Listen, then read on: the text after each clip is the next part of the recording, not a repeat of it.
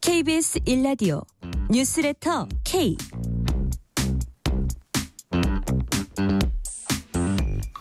안녕하세요. 뉴스레터 K 진행하는 KBS 전종철 기자입니다.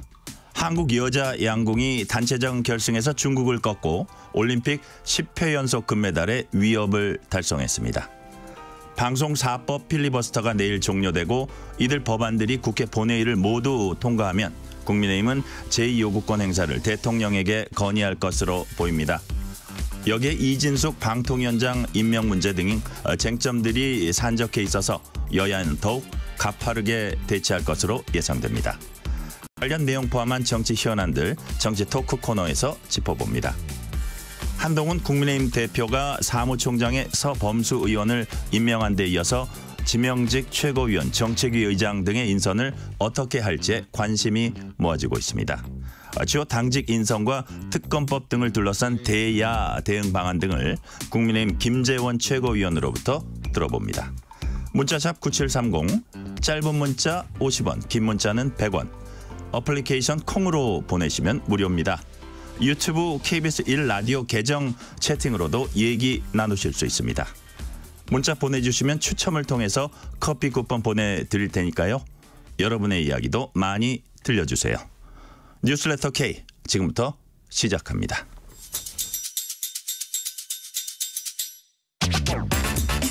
오늘 하루 가장 뜨거운 뉴스들만 골랐습니다. 뉴스레터 K 정치 토크 신주호 전 국민의힘 상근 부대변인 박성민 전 청와대 청년 비서관 이동수 청년 정치크루 대표 나오셨습니다. 어서 오세요. 안녕하십니까.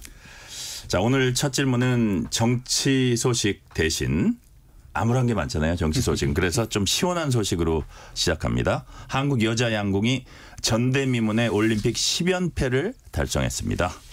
자, 한국 여자 양궁을 축구협회하고 비교해 주셔도 되고요. 한국 여자 양궁을 정치권의 모습과 대, 조해서 평가해 주셔도 되는데 그 각자의 취향대로 하시고요. 신주 부대변 좀 오랜만에 나오신 것 같아요. 네, 제가 네. 전당대회 때문에 이제 자리를 좀 비웠다가 네. 오랜만에 인사드립니다. 아, 왜 이렇게 반갑죠, 오랜만에. 예. 어떻습니까? 우리 한국 양궁. 어제 밤에 저도 굉장히 손에 땀을 쥐면서 봤는데 이제 결승전에서 슈도프까지 갔죠. 저희가 중국이랑 와, 하면서. 근데 이제 슈도프 중국이 두 번째인가요? 그 거의 X10에 가까운 네. 곳에다가 맞춰서 동점일 경우 이제 저희가 은메달이었는데 다행히 금메달로 된 것이 저는 참 다행스럽게 생각을 X10에 우리가 두 개 있었잖아요. 예, 근데 우리가 이제 두 개. 예, 슈도프 때 이제 또 더 가까운 그러니까, 쪽에 되는 예, 예 거니까 예, 예. 다행스럽게 봤는데 그러니까 위기에 강한 대한민국 양궁을 보여준 것 같아서 저도 국민 한 사람으로서 매우 기뻤습니다. 근데 정치권에서도 국가가 위기일거나 네. 아니면 사회가 여러모로 혼란스러울 때 단합해서 그 위기를 극복하고 어려움을 이겨내는 방향으로 가야 되는데 자금의 대한민국 정치가 과연 그러한 방식으로 흐르고 있느냐 그렇기 때문에 저는 이번 양궁이나 올림픽 과정을 좀 정치권이 심도 있게 지켜보면서 네. 국가가 어려울 때 과연 정치권이 어떠한 방향을 제시해야 되느냐 국민을 위해서 어떤 식으로 정치를 해나가야 되는지를 좀 심사숙고하고 고민해보는 시간을 가졌으면 좋겠습니다. 네. 자 박성민 어, 비서관 어떻게 보셨어요? 뭐 일단은 요새 날씨가 굉장히 덥고 습하고 좀 축축하고 그렇잖아요. 네. 그래서 되게 좀 불쾌지수가 높은 날들이 이어지고 있는데 정말 오랜만에 국민들께 좀 시원하고 상쾌한 바람이 불어온 것 같은 느낌으로 굉장히 기쁘게 봤고요. 그리고 너무 선수들이 노력했을 그 시간 그리고 나름의 부담감이 꽤 컸을 텐데도 너무나 차분하게 잘해주시는 거를 보면서 정말 마음 다해서 응원했던 시간이었습니다. 그러니까 막 뭐 그런 얘기도 있더라고요. 내 심장이 관역인 줄 알았다. 그런 얘기를 하시는 분들도 계시는 네. 걸 보면서 진짜 그 한 발 한 발에 이제 모두가 정말 우리의 심장을 걸고 다 같이 응원하지 않았나 오. 싶습니다. 네. 우리 이동수 대표님은 어떻게 네, 보셨어요? 저는 경기도 경기였지만 또 경기 끝나고 양궁 협회장인 정의선 현대차 회장 인터뷰가 굉장히 기억에 남았는데요. 네. 정의선 회장이 선수들이 잘해서 내가 덕분에 운 좋게 묻어갔다 이제 이런 말씀을 하시면서 자기는 뒤에서 모든 걸 돕겠다. 네, 뒤에, 서 이제 모든 걸 서포트하겠다 네. 이런 걸 했는데 전 회, 협회장이 이런 어떤 마인드와 자세를 갖고 있기 때문에 또 우리 양궁이 이렇게 세계적으로 잘 나가는 게 아닌가 하는 생각이 들었고요. 어디 비교가 돼요? 또 이제 축구협회 같은 경우는 또 얼마 전에 네. 정몽규 회장이 또이 관련한 자서전이라고 해야 되나요? 책 내 가지고 또 큰 비판을 받고 이랬었잖아요. 저는 네. 협회 역할이라는 게 이제 어떤 이 음. 종목을 통해서 본인의 어떤 협회장의 인지도나 이런 거를 높이기 위해서 쓸 게 아니라 진짜 묵묵히 뒤에서 선수들을 지원해 주는 게 진짜 참된 어떤 협회장의 역할이 아닐까 이런 생각을 또 했습니다. 자, 양궁협회와 축구협회를 잠시 비교해 주셨고요. 자, 이제 본격적인 정치 질문 들어갈게요. 오늘 오전에 방송사법 가운데 세 번째 법안인 방송문화진흥회법 어, 여당 단독으로 이제 본회의 통과했습니다. 공영방송 이사 숫자 대폭 늘리고 이사 추천권 언론 방송학회나 관련 직능장차에 주는 내용 담고 있습니다. 이게 이제 이진숙 방통위원장 후보 인사청문회하고 결부돼서 이제 주목을 받았다고도 할 수 있는데 박성민 비서관님 좀 한번 평가를 해주세요. 이런 상황. 일단 뭐 예상하셨던 거잖아요. 그러니까 뭐 방, 방송사법을 저희가 통과시키겠다라는 그 의지는 몇 차례 천명을 해왔고 저는 해야 할 일을 하고 있다라고 생각을 합니다. 뭐 언제까지 이 공영방송을 어떤 정권의 나팔수로 사용하는 그런 악순환을 계속 반복할 것인가. 민주당이 독주한다, 민주당이 입법 독재한다 이렇게만 말씀하시지 마시고 그럼 저희가 통과시키기 전에 국회의장의 협상 제안을 받아들이시던가 아니면 제대로 된 대안을 가져오던가 했었어야 되는데 국민의힘이 그런 부분에 대해서 전혀 생산적인 얘기를 하지 못하고 오로지 민주당 탓만 하면서 또 거부권을 대통령께 행사해달라고 건의할 게 눈에 뻔히 보여서 저희는 저희의 일을 그럼에도 꿋꿋하게 하겠다라는 말씀을 드리겠습니다. 네. 신주호 부대변인 어떻게 보세요? 어, 해야 할 일이었다면은 문재인 정권 시절이나 이 전에 미리 했었어야 맞는 거 아니겠습니까? 그런데 이것이 지금 통과가 되었고 무엇보다 중요한 것이 공영방송 이사 숫자를 늘리고 그 이사 추천 권한을 언론 노조 등에 주는 것입니다. 그것은 뭐냐면 민주당이 거대 의석을 활용해서 국민의 것인 공영방송을 자신들의 것으로 만들겠다라는 그 야욕을 부린 것과 저는 다르지 않다라고 평가합니다. 이 문제에 대해서 우원식 의장이 뭐 여러 차례 뭐 중재안을 내셨다고 하셨는데 우원식 의장이 냈던 중재안이 저는 개인적으로 뭔지 모르겠습니다. 민주당의 입장을 거의 그대로 반복하고 민주당의 입장을 국민의힘에 사실상 투영시키려고 했던 것이 어떻게 중재라고 할 수 있겠습니까? 우원식 의장 자체가 이미 민주당의 편에 서서 민주당 일방 독주하는 그 국회 상황에 거의 편승하고 있는 상황인데 그러한 것들이 과연 국민의힘으로서 받아들일 수가 있느냐 전혀 받아들일 수가 없는 것이거든요. 그렇기 때문에 저도 국민 한 사람으로서 이 문제가 계속해서 무제한 토론이 반복되고 대통령이 거부권을 행사하시고 또 그 거부권에 반발해서 대해서 또 다른 입법이 벌어지고 있는 상황에 대해서 개탄스러운 생각만 갖고 있습니다.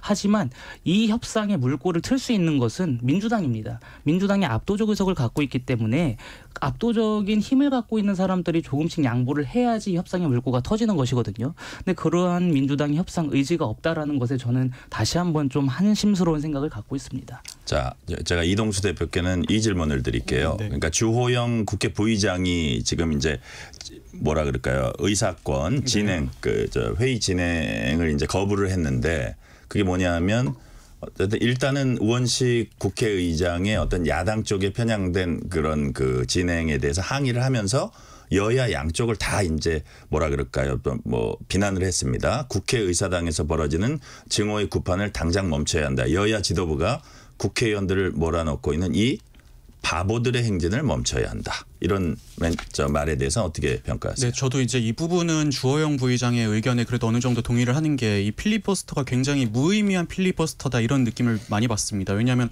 어차피 필리버스터 해도 민주당은 법안을 강행 처리할 것이고 또 법안이 통과돼도 윤석열 대통령은 또 거부권을 행사할 텐데 그럼 이거를 왜 이 많은 직원들을 고생시켜가면서 하고 있나 하는 생각이 저는 들어요. 근데 저는 또 이 부분에 있어서는 또 국민의힘의 어떤 필리버스터를 임하는 자세나 이런 걸 지적하지 않을 수 없는 것 같은 게 필리버스터를 한다는 게 사실 법안을 막기 위해서 하는 게 아니라 법안을 막지 못하더라도 필리버스터를 함으로써 이제 이 법안에 반대하는 거를 국민들을 설득하기 위해서 하는 거잖아요. 근데 지금 보면은 정작 이 국민의힘 출신 부의장도 반대를 하고 또 국민의힘 의원들도 제대로 참석 이 참석하지 않고 있는 이 필리버스터를 과연 국민이 동의를 할까? 저는 이 부분에서 국민의힘이 되게 좀 아쉬운 점이 많다 이렇게 좀 말씀을 드리고 싶습니다. 예.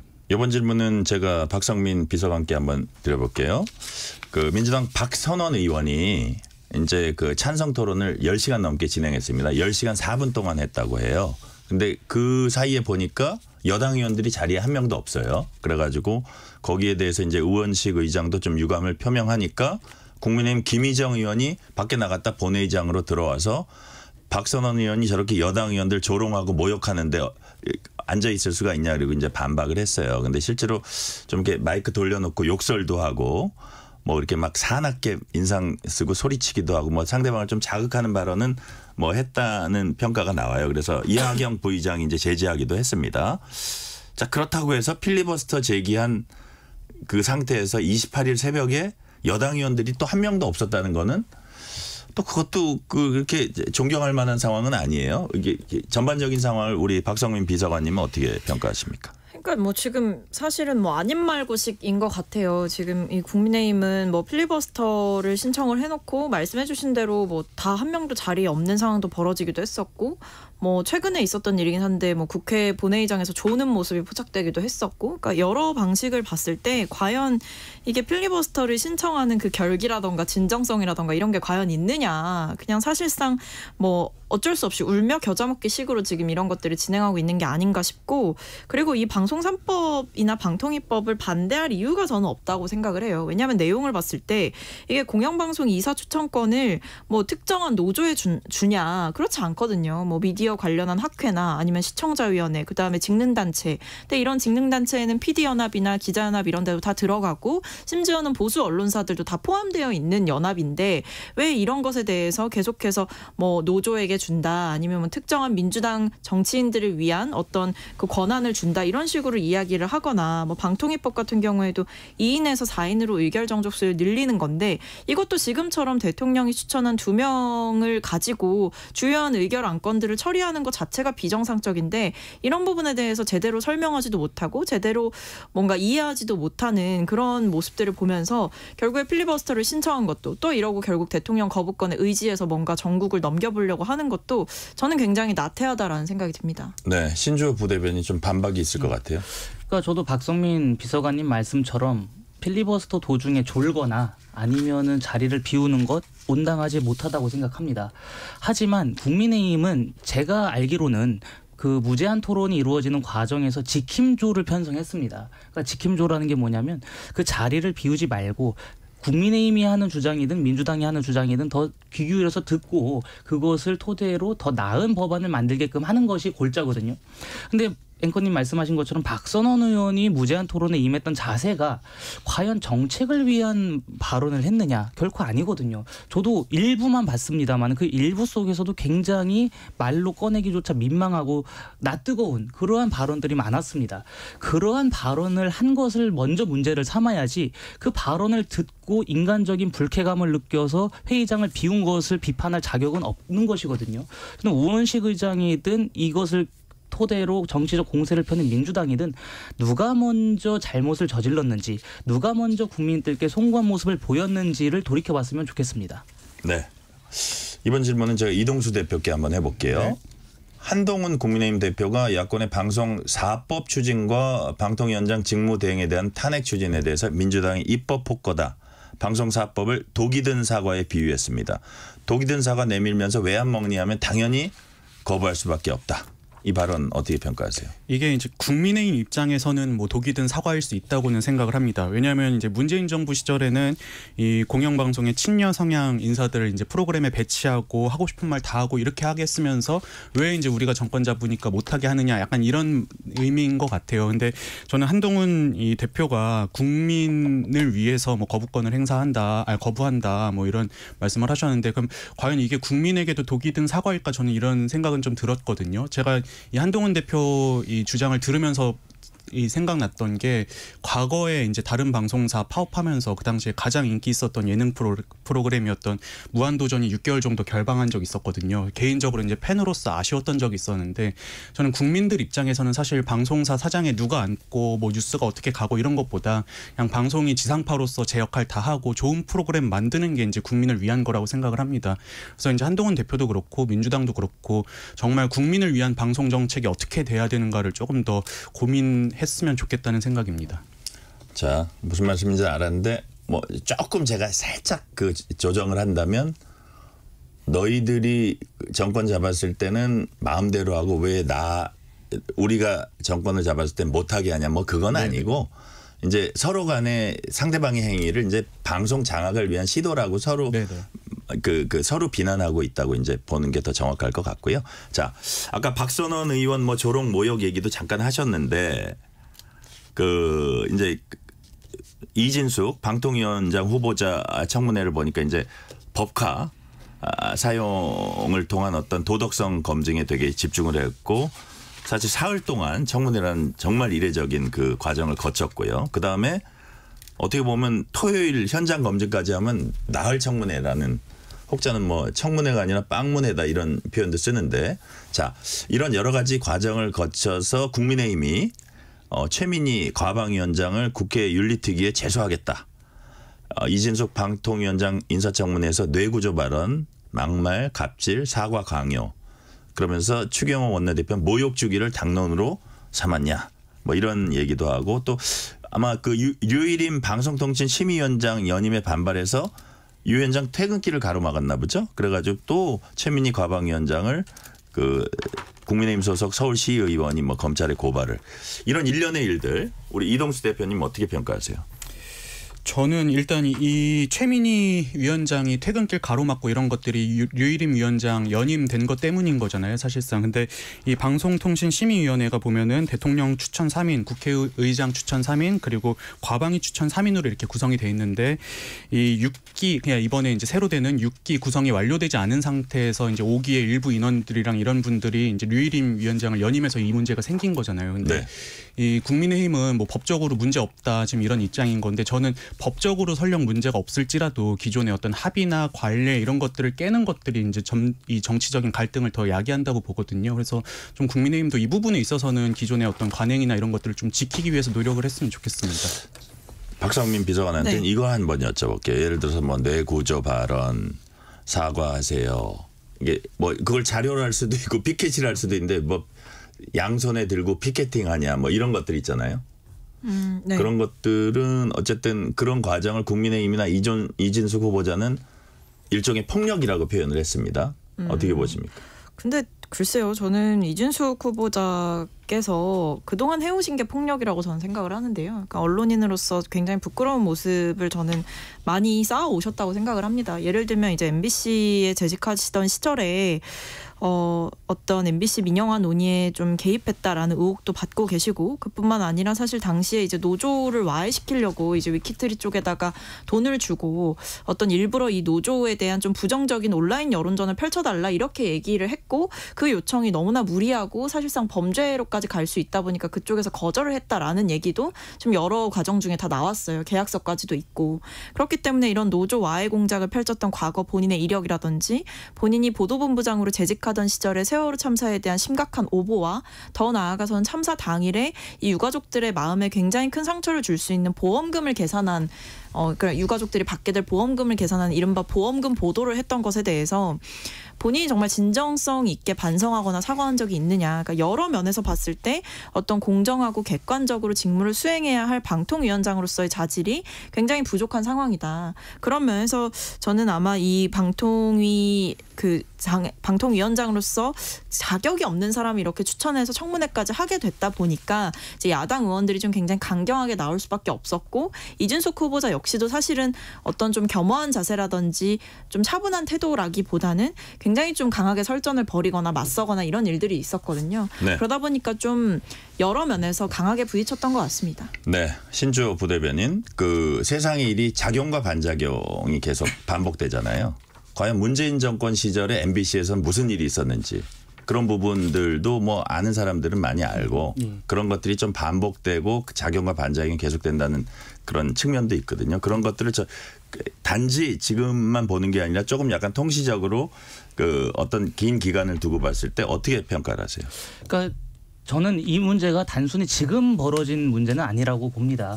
문재인 정권 때도 이제 공영방송 장악을 시도하다가 당시에 야당이었던 뭐 자유한국당 등으로부터 굉장히 많은 비판을 받았고 또 견제도 많이 받았죠. 그럼에도 불구하고 저는 개인적으로 문재인 정권은 사실상의 방송 장악에 성공을 했다라고 봅니다. 그러고 지금 있는 친야 성향의 그 이사들이나 뭐 방통위원들을 친여 성향으로 바꿀까봐 그것이 걱정되어서 민주당이 아마 이러한 방송 계약을 저지르려고 하는 것 같은데 이러한 것들에 앞서서 과연 누가 더 방송 장악을 시도했고 누가 국민의 알 권리를 먼저 침해하려고 했었는지를 민주당이 조금 반성하실 필요가 있다라고 생각합니다. 양쪽에서 서로가 이제 방송 장악을 여전히 계속하고 있다 이러고 서로 맞서고 있습니다. 그러니까 국민의힘으로 가볼게요. 자, 사무총장에는 한동훈 대표가 서범수 의원 재선입니다. 어, 이제 임명을 했고 가장 이제 주목되는 부분이 지명직 최고위원하고 정책위 의장인데 특히 정책위 의장인 것 같아요. 정책위 의장이 대표가 임명한다면서도 또 1년 임기 조항도 있어요. 지금 신주호 부대변인 이게 당내에서 이게 어떻게 될 것 같아요, 이 부분? 이것이 지금 좀 논란이 많은 부분이긴 한데 제 네. 개인적인 생각으로는 정점식 정책위 의장이 스스로 물러나시는 것이 가장 그림이 좋습니다. 왜냐하면 이게 뭐 정책 새 대표한테 좀 여지를 열어줘야 된다. 그렇습니다. 새 대표 어쨌든 정책위의장이라는 자리가 저희가 과거에는 원내대표와 런닝메이트로 해가지고 임기라는 것이 진짜 보장이 됐었습니다만은 이것이 대표에 의해서 임명되는 것으로 바뀌면서 사실상 새로운 지도부가 들어서면은 다 물러나는 형국을 취했었거든요. 그리고 그것이 김기현 대표 출범 때나 뭐 이준석 대표 출범 때나 마찬가지였습니다. 네. 정점식 의장도 황우여 비대위 체제하에서 임명이 되신 분이기 때문에 황우여 비대위, 그러니까 기존 의 지도부가 와해가 되고 사라지고 새 지도부가 들어선다면 마찬가지로 물러나시는 것이 저는 정치적인 관례고 예의라고 생각합니다. 만약에 정점식 의장이 계속해서 임기를 고집하시면서 직에서 물러나지 않겠다라는 뜻을 피력하신다면은 저희가 그동안에 민주당을 향한 비판이 뭐였습니까? 뭐 전현희 현 의원이지만 그 과거에 권익위원장이던 시절에 전현희 당시 권익위원장도 권익위원장이 임기 핑계를 들면서 정권이 바뀌었음에도 불구하고 계속해서 권익위원장으로 머물면서 권익위의 정치화를 이끌었었던 이끌었었거든요. 그것을 저희가 강도 높게 비판했었습니다. 근데 그러한 행태를 저희 당내에서 똑같이 재현한다? 저는 그것은 결코 바람직한 모습이 아니라고 보고 새 지도부가 들어선 만큼 새 지도부가 활동할 수 있는 공간을 열어줘야 된다라고 생각합니다. 이동수 대표님 이게 네. 그냥 신주 부대변인 이제 말씀은 새 대표한테 공간을 열어줘야 된다는 건데 네. 이게 또 친윤 친한 간에 약간 상당히 미묘한 문제기도 해요. 네, 어떻게 맞습니다. 되는 게 좋다고 보세요? 저도 근데 이 신주호 부대변인 말씀에 공감하고요. 저는 과거에 노회찬 전 의원 님의 어떤 발언을 빌려서 표현을 하자면은 저는 불판 갈았으면 굽던 고기도 쇠고기 얹어야 된다고 생각을 하거든요. 그래서 아. 이번에 지금 이 갈등이 되는 부분이 이 정점식 위원장을 어떻게 하, 이제 계속 유지하느냐 아니면 새로 교체를 하느냐에 따라서 친한 대 친윤이 뭐 4대 5냐 5대 4가 되느냐 지금 이 문제인 거잖아요. 근데 저는 한동훈 대표 체제에서는 한동훈 대표가 할 수 있게 일을 할 수 있게 아무래도 그 인적 구성을 바꾸는 게 필요하다고 보고요. 대신 이제 나중에 어떤 국민의힘 성과에 있어서도 한동훈 대표가 그 정치 적 책임을 지는 게 맞다 이렇게 보고 있습니다. 자, 이 질문은 제가 박성민 그 비서관께 드릴게요. 다, 다른 질문입니다. 이제 한동훈 대표 앞에 놓인 또 중요한 시험대가 해병대원 특검법입니다. 한 대표는 자신의 입장은 바뀐 게 없다. 당내 논의 절차를 통해서 설명을 하겠다. 반면에 최측근 그 장동혁 최고위원은 아마 뭐 야당이 그 자신들의 그 특검법을 재표결 밀어붙이니까 그런 차원의 발언 같긴 한데 지금 이 시점에서 여당이 주도해서 특검법 추진하는데 신중해야 된다 이런 취지, 취지로 또 얘기하더라고요. 야당은 어떻게 받아들입니까? 그러니까 일단은 한동훈 그 대표가 조금 진정성이 과연 있는 것이냐 이런 의심을 해볼 수밖에 없을 것 같아요. 왜냐하면 일단 말이 좀 엇갈리고 있는 상황이잖아요. 그리고 뭐 이제 법안 발의는 제가 하는 게 아니다 이런 이야기도 좀 있었다 보니까 한동훈 대표가 과거 후보 시절에 출사표를 던질 때는 어떤 그 세간의 이목을 끌기 위해서 소위 말해 좀 사탕 발린 말을 국민들 앞에 해놓고 이제 와서는 좀 실천 의지가 없는 것 아니냐 이런 의심이 들게 하는 순간인데요. 근데 어쨌든 제가 봤을 땐 그 장동혁 수석 최고위원이시죠. 이 이분은 굉장한 최측근인데 그 어떤 이 최상병 특검법에 대한 논의 자체에 좀 선을 긋는 모양새가 나왔다는 것은 사실상 한동훈 대표의 뜻은 제가 모르겠지만 이 한동훈 대표 측근들은 어느 정도 좀 노선이 정해진 거 아닌가 싶습니다. 그러니까 이 얘기를 지금 대표가 된 직후에 꺼내면 한동훈 대표가 흔들릴 수 있다. 아마 이 걱정을 좀 하는 것 같고 그래서 이준석 시즌 2가 될 수는 없다. 아마 이런 여러 가지 좀 생각들이 있을 것 같아요. 그래서 결국에 이 얘기를 꺼내는 순간 이 소위 말하는 친윤계와의 갈등이 더 폭발할 가능성이 있고 한동훈 대표를 대표를 향한 당내 텃세가 있는 상황이니만큼 어떤 흔들릴 빌미를 줘선 안 된다. 그렇기 때문에 제가 봐서는 이게 한동훈 대표가 의지가 있어도 실제로 추진하기까지는 아마 과정들 하나하나가 험난할 것이다. 그렇기 때문에 지금 야당 입장에서는 오히려 저희가 수정안 발의를 했을 때 한동훈 대표가 제2, 제3의 딜레마에 빠지게 될 수도 있지 않을까 이런 생각 해볼 수 있을 것 같습니다. 네. 이번에 시간 관계상 민주당으로 바로 가보면서 박성민 비서관한테 처음 이제 한번 여쭤볼게요. 민주당에선 당 대표 경선에선 90%그 이재명 전 대표 독주가 이어지고 있고 최고위원 경선에서는 김민석 후보가 무서운 상승세를 보이면서 1위 달리는 정봉주 후보 유일한 저기 그 원외죠. 턱 밑까지 쫓아왔습니다. 명심이 작용했다. 맞습니까? 박 비서관님? 당연히 작용을 했다고 보여요. 네. 왜냐하면 그게 아니라면 이 정도의 상승세를 갖기가 어렵죠. 근데 이게 사실 한 발짝만 떨어져서 보면 여야에 지금 이런 현상이 다 있는 게 아닌가 싶어요. 뭐 예를 들면 장동혁 어, 최고위원께서도 수석 최고가 된 것은 어쨌든 한동훈 대표의 측근이고 soulmate라는 이제 시, 이런 시그널들을 보내시면서 당선되신 거잖아요. 그러니까 이게 대표가 되려고 하는 분들 입장에서는 결국 본인과 좀 손발을 맞춰서 같이 좀 의지하면서 갈 수 있는 정치적 동지가 필요한 거고 그러다 보면 선거 과정에서 약간의 러닝메이트처럼 홍보할 수는 있는 거죠. 그런 부분들이 작동한 걸로 보입니다. 이동수 대표님. 자, 이재명 대표의 머릿속에는 자, 자기가 대표입니다. 지금 정청래 최고위원 앉아 있는 자리 있잖아요. 거기에 누가 앉느냐 네. 이게 이제 two shot이 찍혀요 항상 매일. 그게 되게 중요하다고 생각하지 않을까요? 네, 저도 이제 수석 최고 누가 되느냐 되게 중요하다고 보고요. 저는 이재명 대표가 유튜브를 통해서 김민석 그 후보를 간접적으로 지지한 이유도 거기에 있다고 봅니다. 왜냐하면 전 최고위원 후보군 중에 자기 표 있는 사람은 정봉주 후보밖에 없다고 생각을 해요. 이분 같은 경우에는 과거 나는 꼼수다 이런 팟캐스트 때부터 꾸준히 이제 확보해온 팬덤이 있는 반면에 네. 다른 분들은 그런 팬덤이 없다 보니까 지금 친명에 업혀가는 거잖아요. 근데 저는 이재명 대표 입장에서도 아무래도 본인이 좀 어느 정도 관리하기 쉬운 통제하기 쉬운 게 친명에 업힌 후보를 좀 도와주고 싶지 이제 자기 표를 갖고 있는 정봉주 후보가 만약에 수석 최고위원 될 경우에는 또 자기 통제에서 벗어날 수 있는 거잖아요. 그런 어떤 역학관계가 작용한 게 아닌가 이렇게 생각을 합니다. 신주 부대변인 어떻게 보세요? 이 저는, 상황을? 저는 민주당이 전당대회 하고 있는 줄도 몰랐습니다. 여기 와서 알았어요. 그 정도로 지금 민주당의 전당대회는 국민적인 관심에서 벗어났다. 이제 하고 있는 건 알았죠. 근데 이제 그 정도로 아, 그, 그 그런 네, 표현이죠. 그 정도로 관심. 이재명 대표가 90%를 넘기는 득표를 하고 있고 네. 최고위원으로 나선 사람들 거의 대부분이 이재명을 지키겠다, 이재명을 수호하겠다라는 비전을 발표하고 있는 와중에 과연 민주당이 국민을 위한 정당인가 아니면 이재명 대표의 방탄을 위한 정당인가 그것부터 좀 고민하실 필요가 있다고 생각합니다. 네. 오늘은 여기까지 말씀 듣겠습니다. 신주호 전 국민의힘 상근 부 대변인, 박성민 전 청와대 청년 비서관, 이동수 청년 정치크루 대표였습니다. 오늘 말씀 감사합니다. 감사합니다. 감사합니다. 실시간 교통정보 듣고 오겠습니다. 교통정보센터 임초희 리포터 나와주세요. 네, 이 시각 교통 정보입니다. 서울 시내는 퇴근 정체 이제 대부분의 곳에서 시작이 됐고요. 일찍부터 한강 주변길은 정체가 심합니다. 올림픽대로 잠실 쪽 방화대교에서 월드컵대교 그리고 여의교에서 청담대교까지 쭉 막히고요. 반대 공항 방향은 청담대교에서 가양대교까지 긴 구간 정체 이어졌습니다. 나란히 가는 강변북로 일산 쪽으로도 흐름 비슷합니다. 청담대교에서 성수대교, 다시 동호대교에서 난지까지 밀 밀리고요. 서울 양양고속도로 서울 쪽 덕소 3패에서 강일까지는 오늘 내내 어렵습니다. 반대 양양 방향은 전 구간에서 수월하고요. 수도권 제일순환고속도로 판교에서 구리 쪽 서하남에서 밀리고 있습니다. 얼마 못 가 광암터널에서 토평까지 길게 정체 이어지고요. 일산에서 판교 쪽 일산부터 총래까지 쭉 밀리고 있습니다. KBS 교통정보센터에서 임초희였습니다. 퇴근길 당신과 함께 읽는 세상 이야기. KBS 일라디오 뉴스레터 K.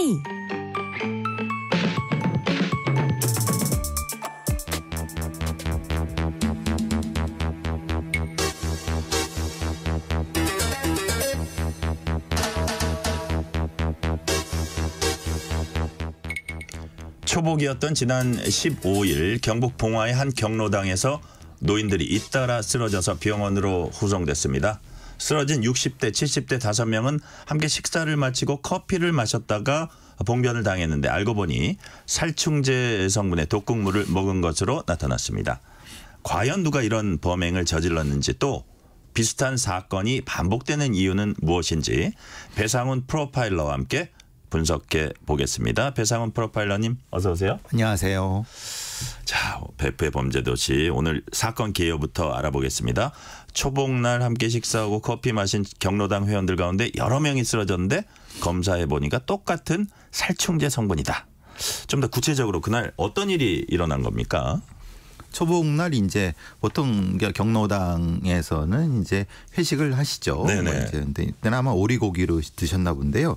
오리고기하고는 전혀 관계는 없습니다. 음. 그걸 이제 같이 드신 마흔 몇 분이 계셨고 드시고 나서 어, 그 중에 일부 한 테이블에서 네. 앉으셨던 분이 경로당으로 와서 거기서 이제 보통 이제 그 냉장고 안에 그 믹스 커피를 다량으로 섞어 갖고 이제 아이스커피 마시는 게 어르신들이 그렇게 마시나 아, 봅니다. 그 주전자 같은 데다 예, 예, 들어가 예. 있었다 이거죠. 예. 근데 예. 이제 생수통 큰 생수통에, 생수통에. 들어가 있었는데 예.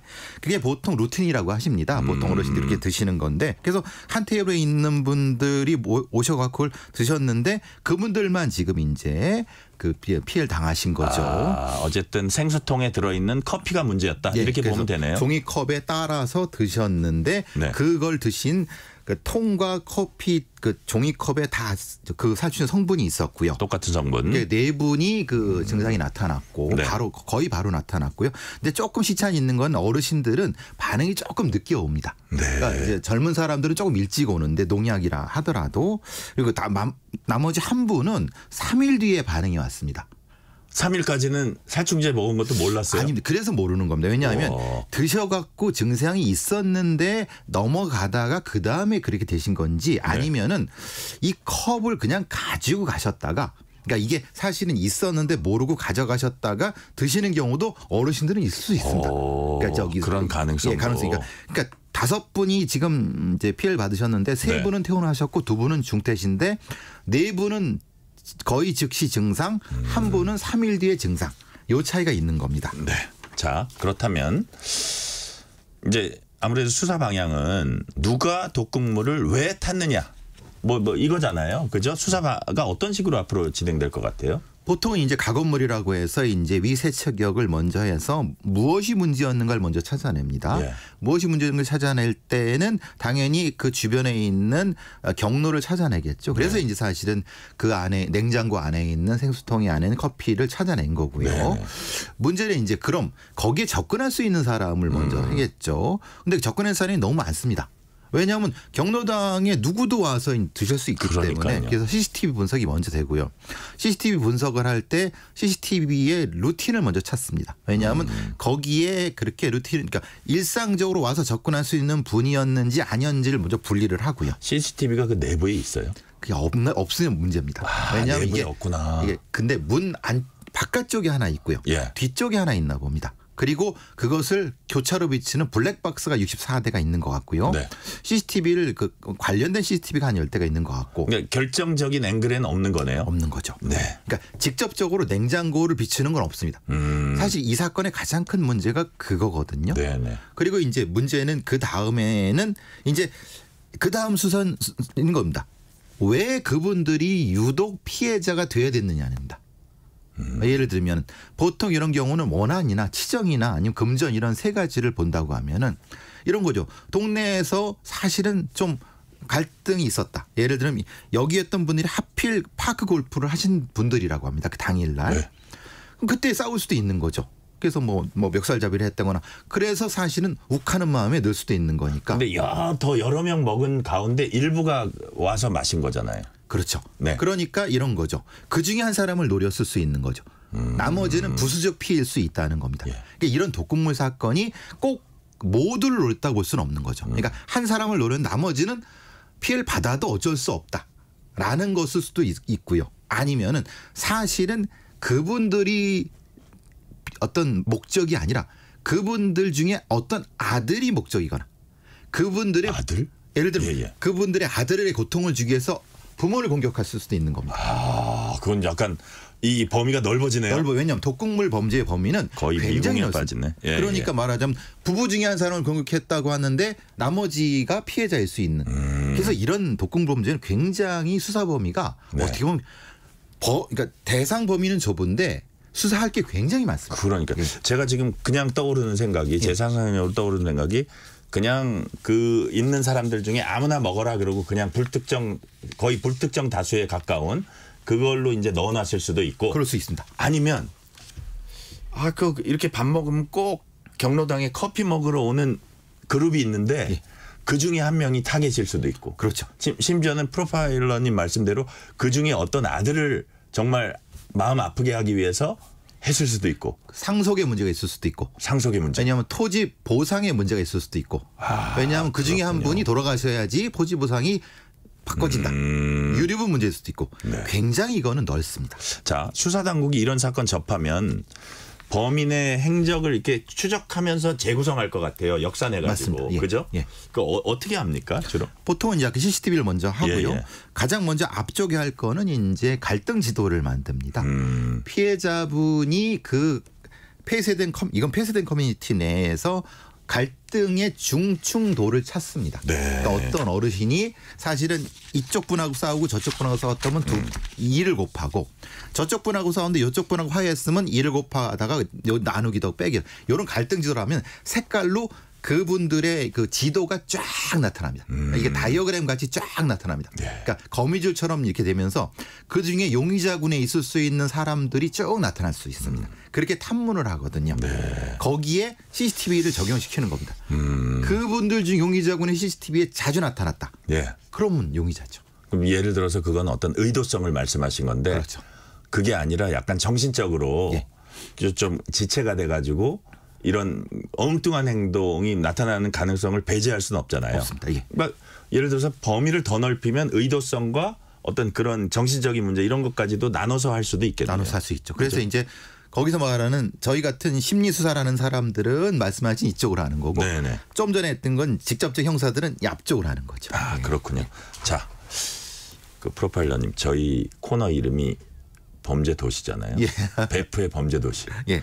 범죄 이퀄 거의 도시인데 이거는 지금 농촌 이퀄 범죄, 농촌 지역 범죄잖아요. 그러니까 약간 느낌이 약간 무슨 뭐뭐 뭐 살인의 추억 이런 이거 보는 느낌인데 자 이번 일을 언론에서 경북 봉화 살충제 사건을 이제 부르고 있습니다. 근데 이런 사건 유형이 미 연방 수사국 FBI가 분류한 범죄 매뉴얼에도 나온다고 해요. 그만큼 전형적이고 아주 고전적인 어떤 유형인가요?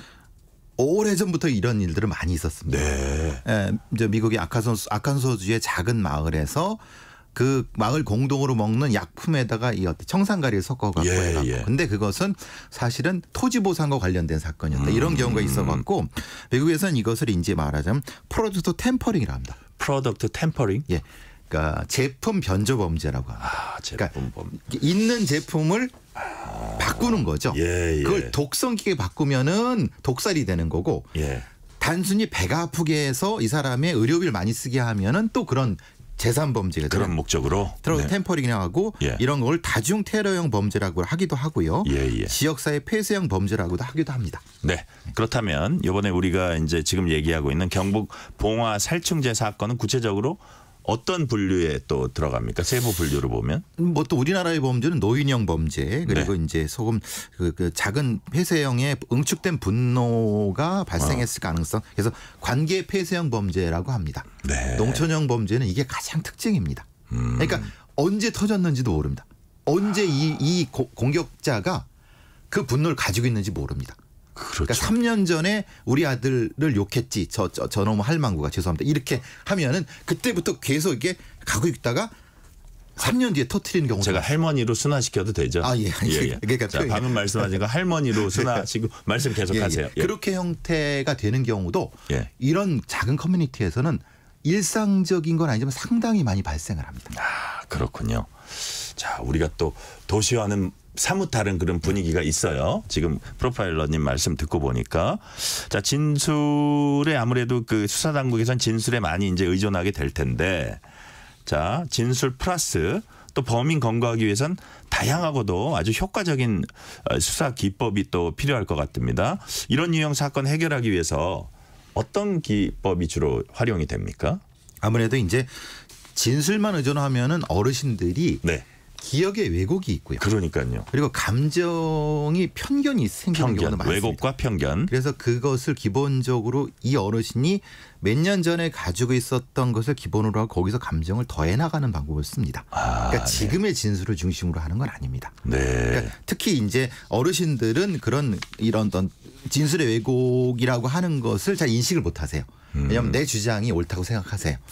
젊은 사람들도 많이 그래요. 예, 그렇죠. 어, 예, 어른신들은 오- 오죽하시겠어요. 예, 예. 왜냐하면 예, 예. 그러니까 어떤 그것도 이제 보통 젊은 사람들한테는 그걸 수정해 주려고 하죠. 네. 근데 어르신들이 그 수정해 드릴 수는 없는 상황이니까 그런 방법을 쓰기도 하고요. 음. 네. 예. 자, 아까 이제 냉장고를 비추는 CCTV 없다 그랬잖아요. 근데 여하튼 어떤 범행이든 간에 가장 중요한 직접 증거들 smoking gun이 이제 가장 이제 관건인데 필요한데 그렇다면 직접 그 냉장고를 비추는 그 장면이 없다면 화면이 없다면 바로 이제 살충제로 알려진 독극물 이게 이제 핵심 포인트 같아요. 그 누가 어디서 구입을 했는지 어떤 목적으로 구입을 했는지 그게 왜 그쪽으로 왔는지 어떤 수단을 통해서 왔는지 뭐 이런 거 밝히는 것 같거든요. 그래서 수사 관점에서 볼 아 근데 근데 이- 이게 이제 어떤 얘기가 또 나오냐 하면 두 가지 농약 섞었다 즉 조제한 독극물이다 이런 얘기도 나오거든요. 요건 실제로 그래요. 예, 독특하게 다른 게 예. 상주 농약 사이다 사건은 단일로 했는데 요거는 독특하게 하나와 하나를 섞은 겁니다. 입제. 그러니까 말하자면 입제라고 해 가루와 이게 이제 이 그런 가- 액체나 입제라고 해서 이제 예. 분말 조금 서 있는 겁니다. 그런 게 두 가지를 섞었는데요. 하나는 독성이 약한 반면에 오래 가는 거고요. 네. 하나는 독성이 강한 반면에 짧게 되는 겁니다. 음. 보통 이건 이제 농약을 칠 때 보통 칠 때 두세 개의 농약을 같이 섞거든요. 예. 그럼 이렇게 제조하는 사람이 범인인 거죠. 그러니까 제조 비율이 있는 겁니다. 음. 예. 사실은 그게 사실은 지문인 거죠. 지문. 이게 말하자면 이 독극물이 가지고 있는 독특한 제조가 사실은 범인이 자기도 모르게 습성으로 가지고 있는 거죠. 지문까지 안 남아 있으면 조금 더 무서운데요, 제가. 지문이 그냥 와가지고 에이 맛 좀 봐라 이- 이것은 모르는데 지문이 지금 어떻게 남아 있는지 안 남아 있는지 아직 아직은 예, 모르시죠. 예, 모르는데 예. 아마도 이 조제 비율이 이 범인의 특성인 것 같습니다. 아 조제 비율이. 비율이. 그래서 비- 이것을 섞어서 넣고 거기 넣은 거기 때문에 예. 그러니까 한 번에 와서 와서 섞을 수는 없습니다. 왜냐하면 그 통이 생수통이기 네네, 때문에 네. 미리 조지해 온 걸 가져왔기 때문에 그런 제 말씀을 드리는 겁니다. 아, 그렇군요.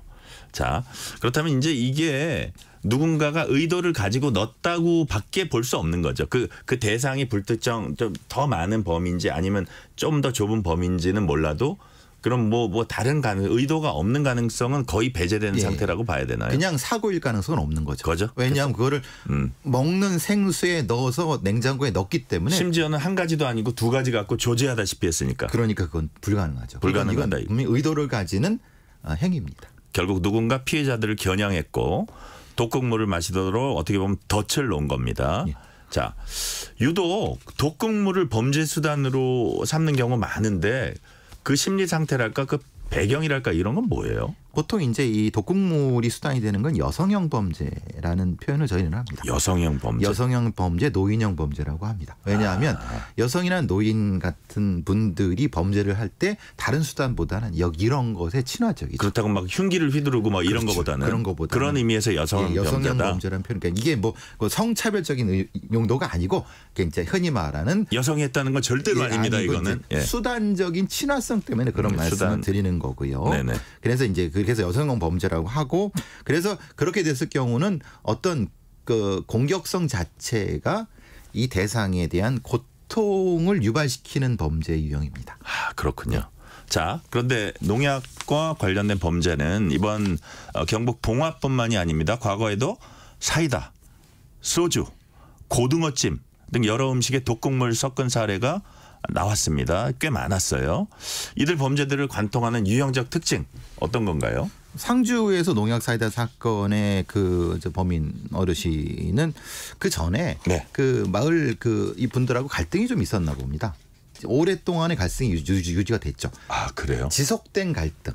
음. 지속된 갈등이 이것의 트리거가 되는 방아쇠가 되는 예, 예. 그리고 포항에서 있었던 농약 그 저기 고등어찜 사건도 역시 이건 남자 어르신인데 네. 그것도 다른 일로 싸워 싸운 상태에서 그 뭐 이걸 붓게 되는 그런 맛좀 봐라. 예. 진짜 맛을 보는 거네요. 맛좀 예, 예, 예, 봐라가. 근데 본인한테 물어보면 이런 겁니다. 도, 죽이려고 그랬느냐? 그건 아니다. 혼 좀 내주려 그랬다. 골탕 먹인다? 예. 그런데 사실은 그 양이 사실은 좀 과했죠. 음. 그러니까 돌아가시지 않아도 상당히 고생을 하셨거든요. 네네. 그런 사실 우발적일 수도 있지만 유지되는 분노가 특징입니다. 아, 우발적이지만 쭉 그게 몇 년이 됐건 몇 개월이 네. 됐건 뭐 몇 주가 됐건 네. 우발적이지만 그게 단지 그 사건만 가지고 한 것보다는 대부분의 경우에 있어서 예. 좀 지속되어 오고 어떤 과거의 사례가 여기에 영향을 미친 미쳤죠. 예. 최근에 어떤 계기가 있었으면 트리거란 표현 쓰셨는데 더더욱 그 범죄로 예. 이어질 확률이 높다는 높죠. 말씀이시죠. 예. 자, 그런데 같은 독극물 사건이라도 영화로까지 만들어졌던 전남 순천 예. 청산가리 막걸리 사건은 사건 분류 방식이 전혀 다르다 이런 얘기가 있더라고요. 무슨 얘기예요? 왜냐하면 그것은 어, 타겟이 가족 내입니다. 가족입니다. 아, 타겟. 말하자면 가족. 이것은 말하자면은 실제로 이제 다수를 대상으로 한 독극물을 뭐 먹으라고 이렇게 한 것이 아니라 가족을 대상으로 해서 했던 범죄이기 때문에 재산 문제였나요? 그러니까 이제 근데 사실은 이것은 조작된 부분이었죠. 아. 사건 자체가 조작된 부분이기 예, 예. 때문에 근데 이것이 실제로 어그 저기 그 수사기관이 말한 대로 맞다고 하면은 그것은 가족 일방이 가족 일방에 대한 공격이기 때문에 이것은 네. 내부에 그러니까 가족 간의 살인이라고 볼 수 있습니다. 가족 간의 가족 간 살인이죠. 또 최근에 또 전 세계적으로 약간 충격을 줬던 게 태, 국 방콕 호텔 예. 청산가리 여섯 명 집단 사망 사건도 또 있었잖아요. 그죠? 예. 근데 그 사건은 조금 묘한 게 네. 태국 정부 수상 그러니까 저기 총리까지 나서 갖고 극히 축소하려고 많이 노력을 하고 있습니다. 왜냐하면 네. 태국이라는 관광, 관광 도시에 치명타를 가했기 그러니까요. 때문에 그래서 뭐 자살로 처리를 하려고 했는데 그래서 이제 남 원래는 거기에 포함되지 않은 다른 사람이 범인이었다라고 했는데 그게 아니다. 그 중에 하나가 공격하고 자기도 같이 이렇게 했다라고 하는데 둘 다 믿을 수 없습니다. 그러니까 왜냐하면 그게 음. 그렇게 가능한가라고 해서 어쨌든 근데 거기서도 이제 흔히 말 여성향 범죄 특히 나타납니다. 네. 거기 이제 같이 있었던 음. 사람이 공격자가 여성이라는 것이 태국 경찰의 주장이죠. 예. 정말 관광 산업이 제일 산업인 태국 입장에서는 이게 타격이 만만치 않을 그렇죠. 거예요. 그래서 치안도 상당히 강한 편이었는데 자. 이번 사건이 벌어진 경북 봉화 내성 사리는 주민이 1,300명입니다. 여기에 해당 경로는 회원수 41명. 41명이면 뭐 거의 가족처럼 지낼 거예요. 동네에서. 그렇죠. 그죠? 네. 자, 그런데 함께 생활하는 만약에 그 41명 중에 피해자도 있고 음. 가해자가 있다. 와, 그게 음식에 누군가가 독이 탔다. 이게 확인되면 그 파장이 어떨까요? 그러니까 경찰도 사실은 뭐 알게 모르게 그 내적 구성원을 용의자로 보고 있습니다. 왜냐하면 네. 거기에 접근할 사람이 그렇게 그 많지 않거든요. 그런데 음. 문제가 이것은 범인을 잡은 다음에 그 공동체가 깨지는 경우가 많이 있어요. 그러니까 그 후유증도 더 클 것 같아요. 아예 그 경로당 자체를 폐쇄하고 따로따로 이제 경로당을 만들겠죠. 그러니까 보통 이런 경우가 일단 작은 마을에서 벌어지고 있는 이런 갈등 구조를 치유하는 시간이 범죄 시간보다 훨씬 깁니다. 아, 그래요? 시간이 10배가 더 듭니다. 아, 치유에 네. 그만큼 또 시간이 든다. 왜냐하면 그만큼 가족처럼 더 그, 그 가족 친척처럼 믿고 믿었기 때문에 그 살았던 같이 지냈던 분들이잖아요. 그래서 자 그렇다면 이제 독극물 관련 범죄라는 게 언제 터질지 정말 예상은 할 수 없는 거잖아요. 근데 그럼에도 불구하고 이런 범죄 발생 가능성을 조금이라도 줄일 수 있는 방법이 혹시 있을지 어떤 게 있을까요? 과거의 상주 사건이나 여러 가지 사건 했을 때 그래서 농약을 살때 네. 그 이름을 적고 CCTV에 찍어두자.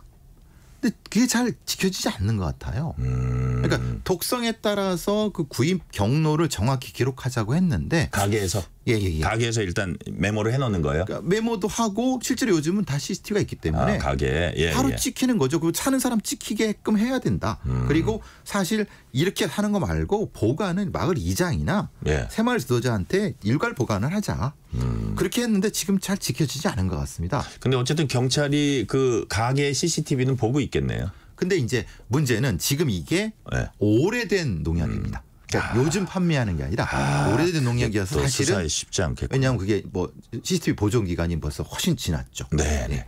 자, 시간이 이제 뭐 1분 이내로 남았는데요. 아까 이제 FBI 범죄 분류도 말씀해 주셨는데 해외에도 이제 독극물 범죄 따른 대응 매뉴얼 같은 거 있을 네. 것 같아요. 우리가 참고할 만한 내용 어, 떤 게 있는지 짤막하게 좀 설명해 주세요. 지금 안동병원에서 치료를 받고 계시는데 두 분이 사실 위독하시거든요. 네. 그러니까 이런 독극물 범죄가 있을 수 있다는 게서 상비약이라든가 응급 관련된 부분 약품이 사실 미비했던 것 같습니다. 그러니까 우송대에 온 상태에서 조금 조금 헤매셨던 것 같은 느낌이 들거든요. 그러니까 이런 농약 중독에 대한 것을 미리 좀 해서 응급할 수 있는 키트 같은 것을 미리 준비해 두는 것이 어떻겠느냐. 음. 사실 뭐 이걸 했지만 그래도 어렵지 않거든요. 네. 그런 부분들이 사실은 치명도를 낮추는데 도움이 되지 않을까 싶습니다. 우리 배상원 프로파일러 말씀으로는 아까는 그거를 이제 살충제 같은 게 나가기 전에 이장이나 아니면 마을에서 네.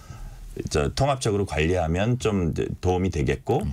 또 일이 사람이 모든 걸 막을 수는 없으니까 발생했을 때는 응급 키트가 필요하다. 예. 자 여기까지 말씀 듣겠습니다. 지금까지 배상훈 프로파일러였습니다. 말씀 감사합니다. 감사합니다. 뉴스레터 K 1부 순서 마치고 2부가 이어집니다.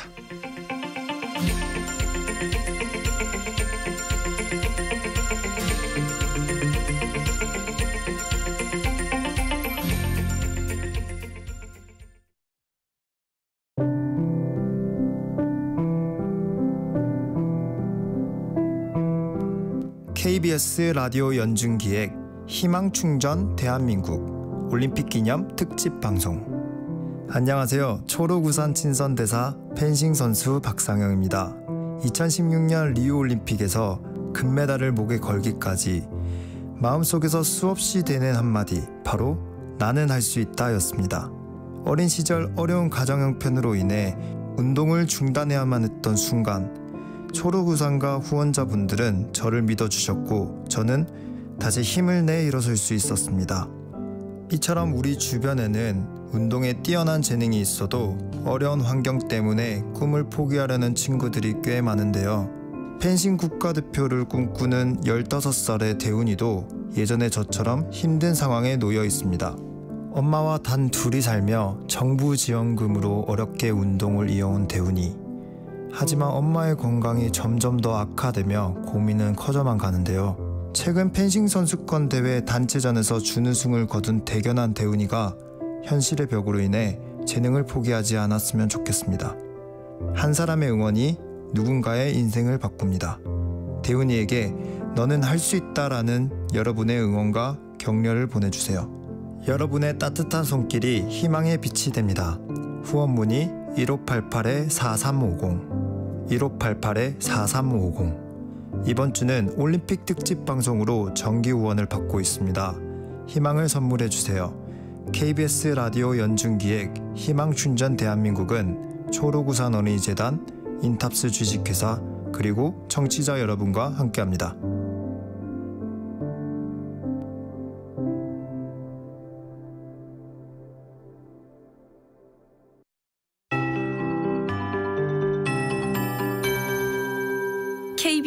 58분 날씨. 폭염 경보와 주의보가 여전히 전국 대부분 지역에 발효 중인 7월의 마지막 주입니다.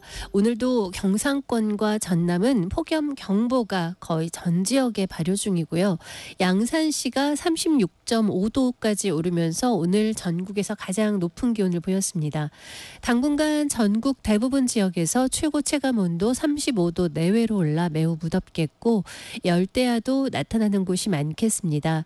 서울 지역도 어느덧 열대야가 8일 연속 이어지고 있습니다. 내일 아침 최저 기온도 서울 대전이 26도, 강릉은 29도나 되겠고요. 세종, 광주, 대구 25도 등 전국이 22도에서 29도 분포로 밤새 열대야 현상이 많이 나타나겠고 내일 낮 최고 기온 서울 31도, 세종, 광주, 부산 33, 제주 34, 강릉 35, 대구 36도 등으로 찜통더위가 여전히 계속되겠습니다. 당분간 무더위와 열대야 속에 오늘과 내일 경기 북부와 강원 내륙 산지에 가끔 5에서 30mm의 비가 오겠고요. 서울, 인천, 경기 남부, 충북 북부는 내일 낮까지 5mm 미만의 비가 오겠습니다. 강원 산지와 울릉도 독도에는 강풍주의보가 발효 중입니다.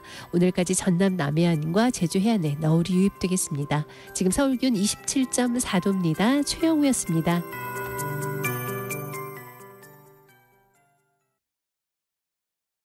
정성을 다하는 국민의 방송 KBS가 6시를 알려드립니다. AM 711kHz, FM 97.3MHz, KBS 일라디오입니다.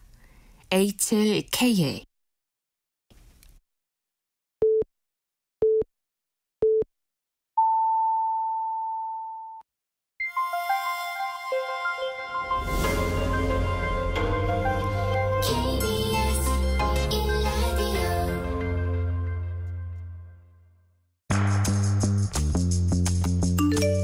여러분은 지금 퇴근길 시사 편지 한 장. KBS 일라디오 뉴스레터 K를 듣고 계십니다.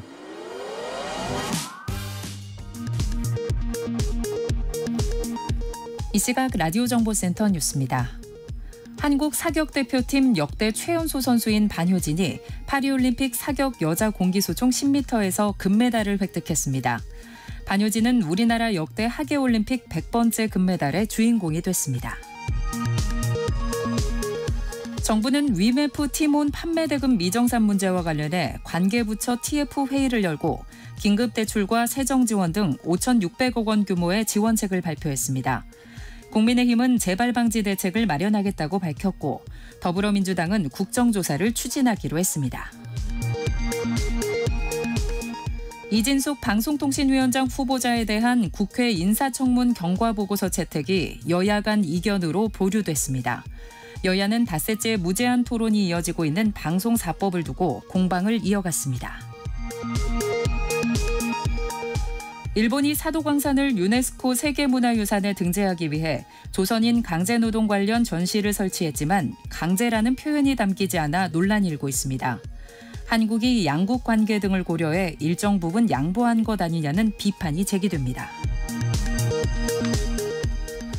북한 매체가 폭우로 압록강 수위가 높아져 인근 섬주민 5천여 명이 침수 위험 지역에 고립됐다며 김정은 위원장이 어제 수해 현장에서 헬기를 동원한 주민 구조 작전을 지휘했다고 보도했습니다. 지금까지 라디오 정보센터 뉴스 편유이였습니다.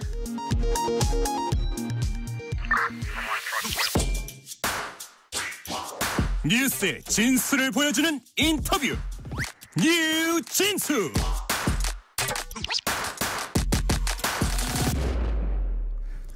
국민의힘 한동훈 신임 당대표가 주요 당직 인선을 놓고 고심하고 있는 것으로 전해졌습니다.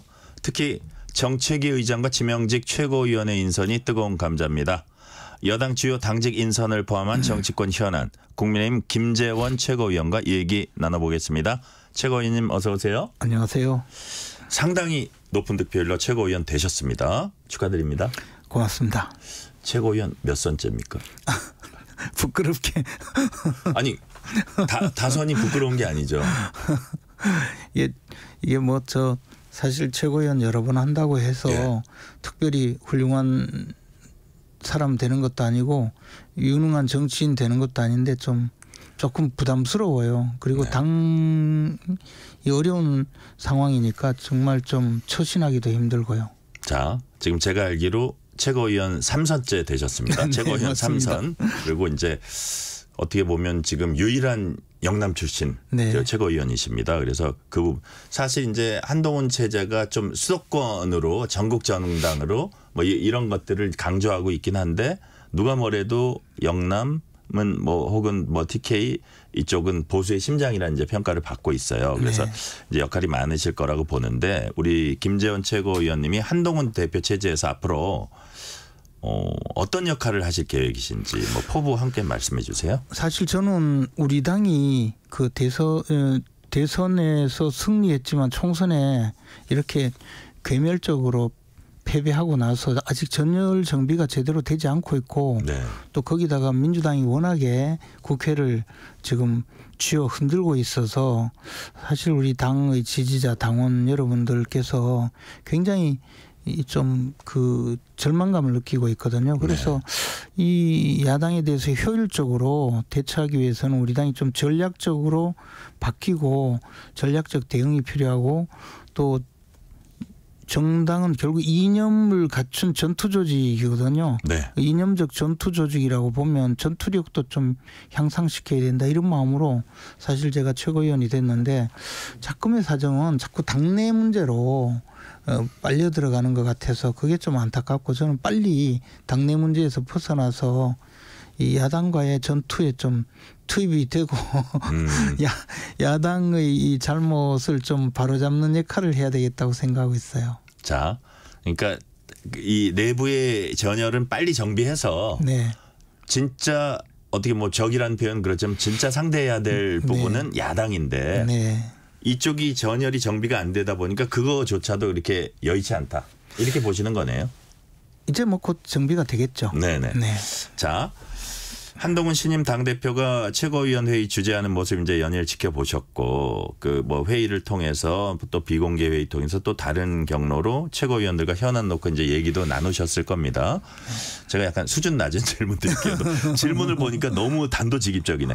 한동훈 신임 당 대표 대표직 잘 수행할 걸로 기대하세요? 뭐 저는 잘할 거라고 생각해요. 아, 기대가 그래요? 많아요. 첫째 하나는 어, 역사적으로 그 당 대표가 어, 본인도 늘 그런 말씀하시는데 네.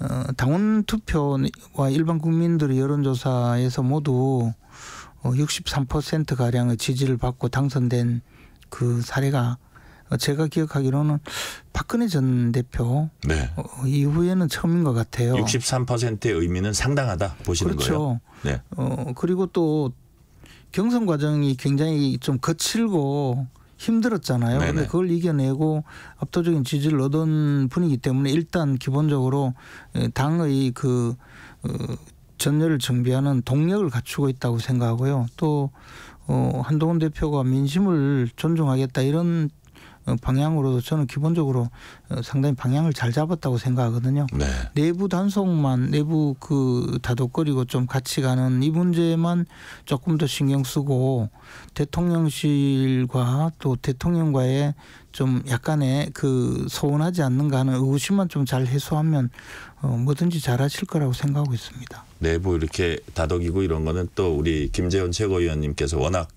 경험이 많으시니까 잘 거기서 조율해 나가면 된다는 생각이 들고요. 자, 그런데 김경률 전 국민의힘 비대위원은 만약 우리 사회가 올바르다면 국민 압력으로 원희룡 후보는 정치판에서 떠나게 하는 게 맞다. 스스로 퇴출 당해줘야 한다. 이렇게 날을 세웠어요.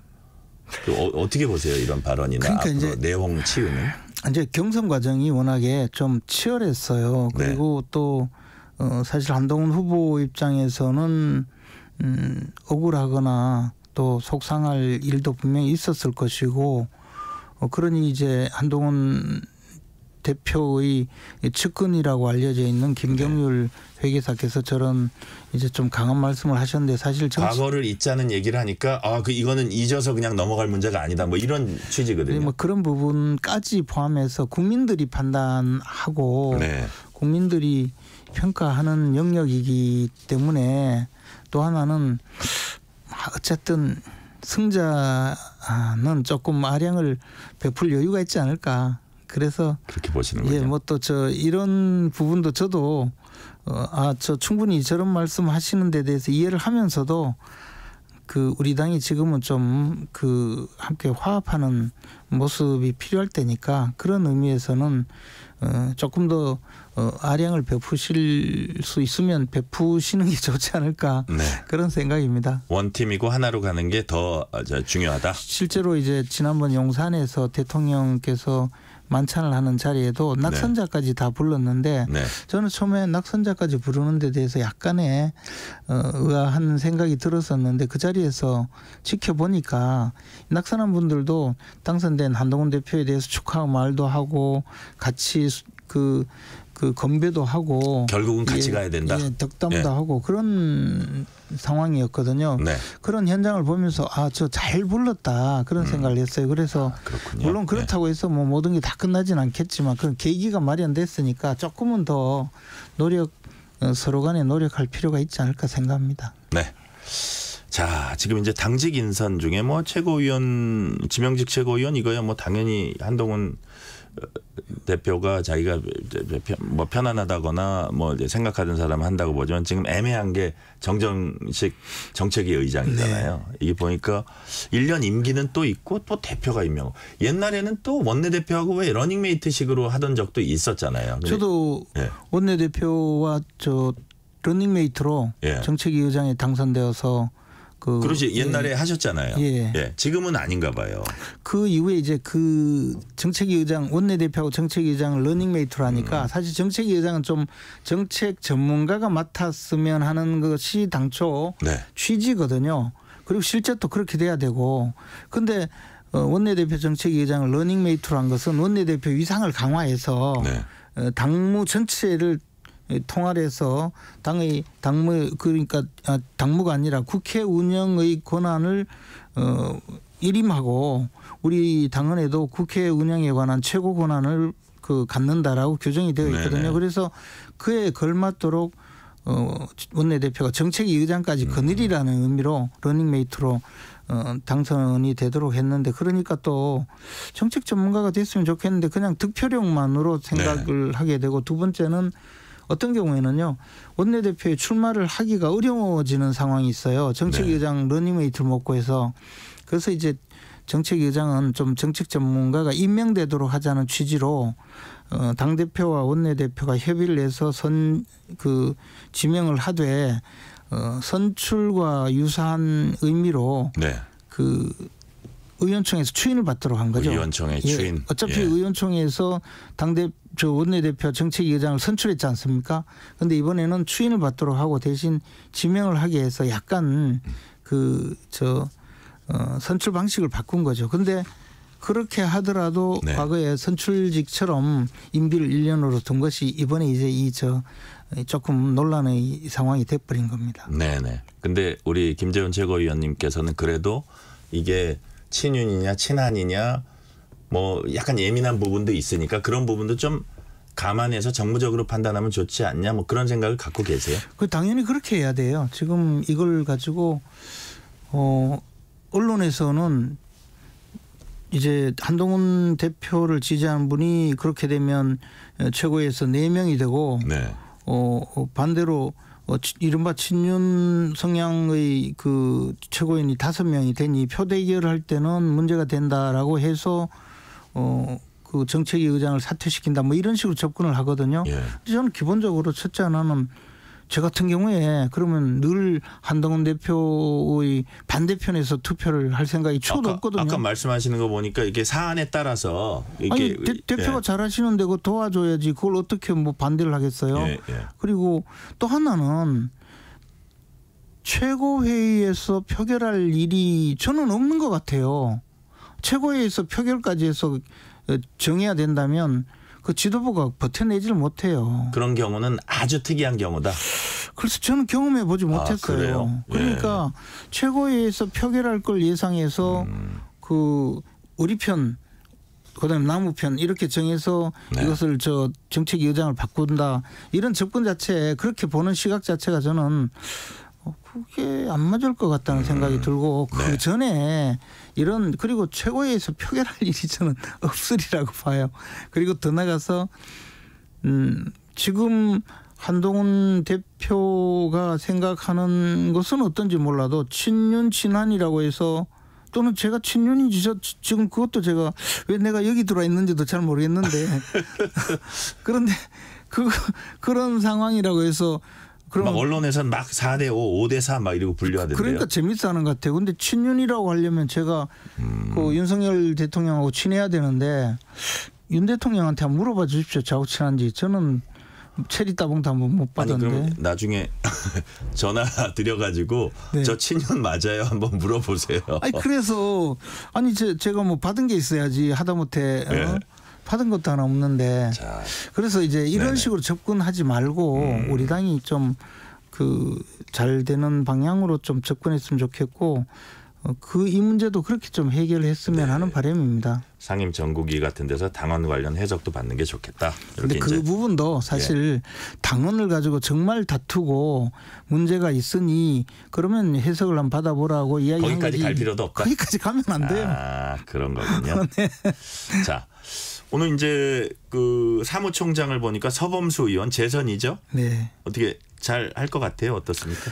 이제 사무총장이나 지명직 그 최고위원 정도는 어, 한동훈 대표가 사실 정치적으로는 네. 거의 첫 번째로 그 정치 활동을 하고 어, 자기가 저 자기와 정치 활동을 같이 할 사람을 참모로 임명하는 그런 과정에 있거든요. 예. 그런데 어, 사실 한동훈 대표가 정치권에 아는 사람이 많지도 않을 것이고 더군다나 자기가 편하게 대화하고 어 당무에 대해서 협의할 수 있는 사람은 더더욱 많지 않을 거거든요.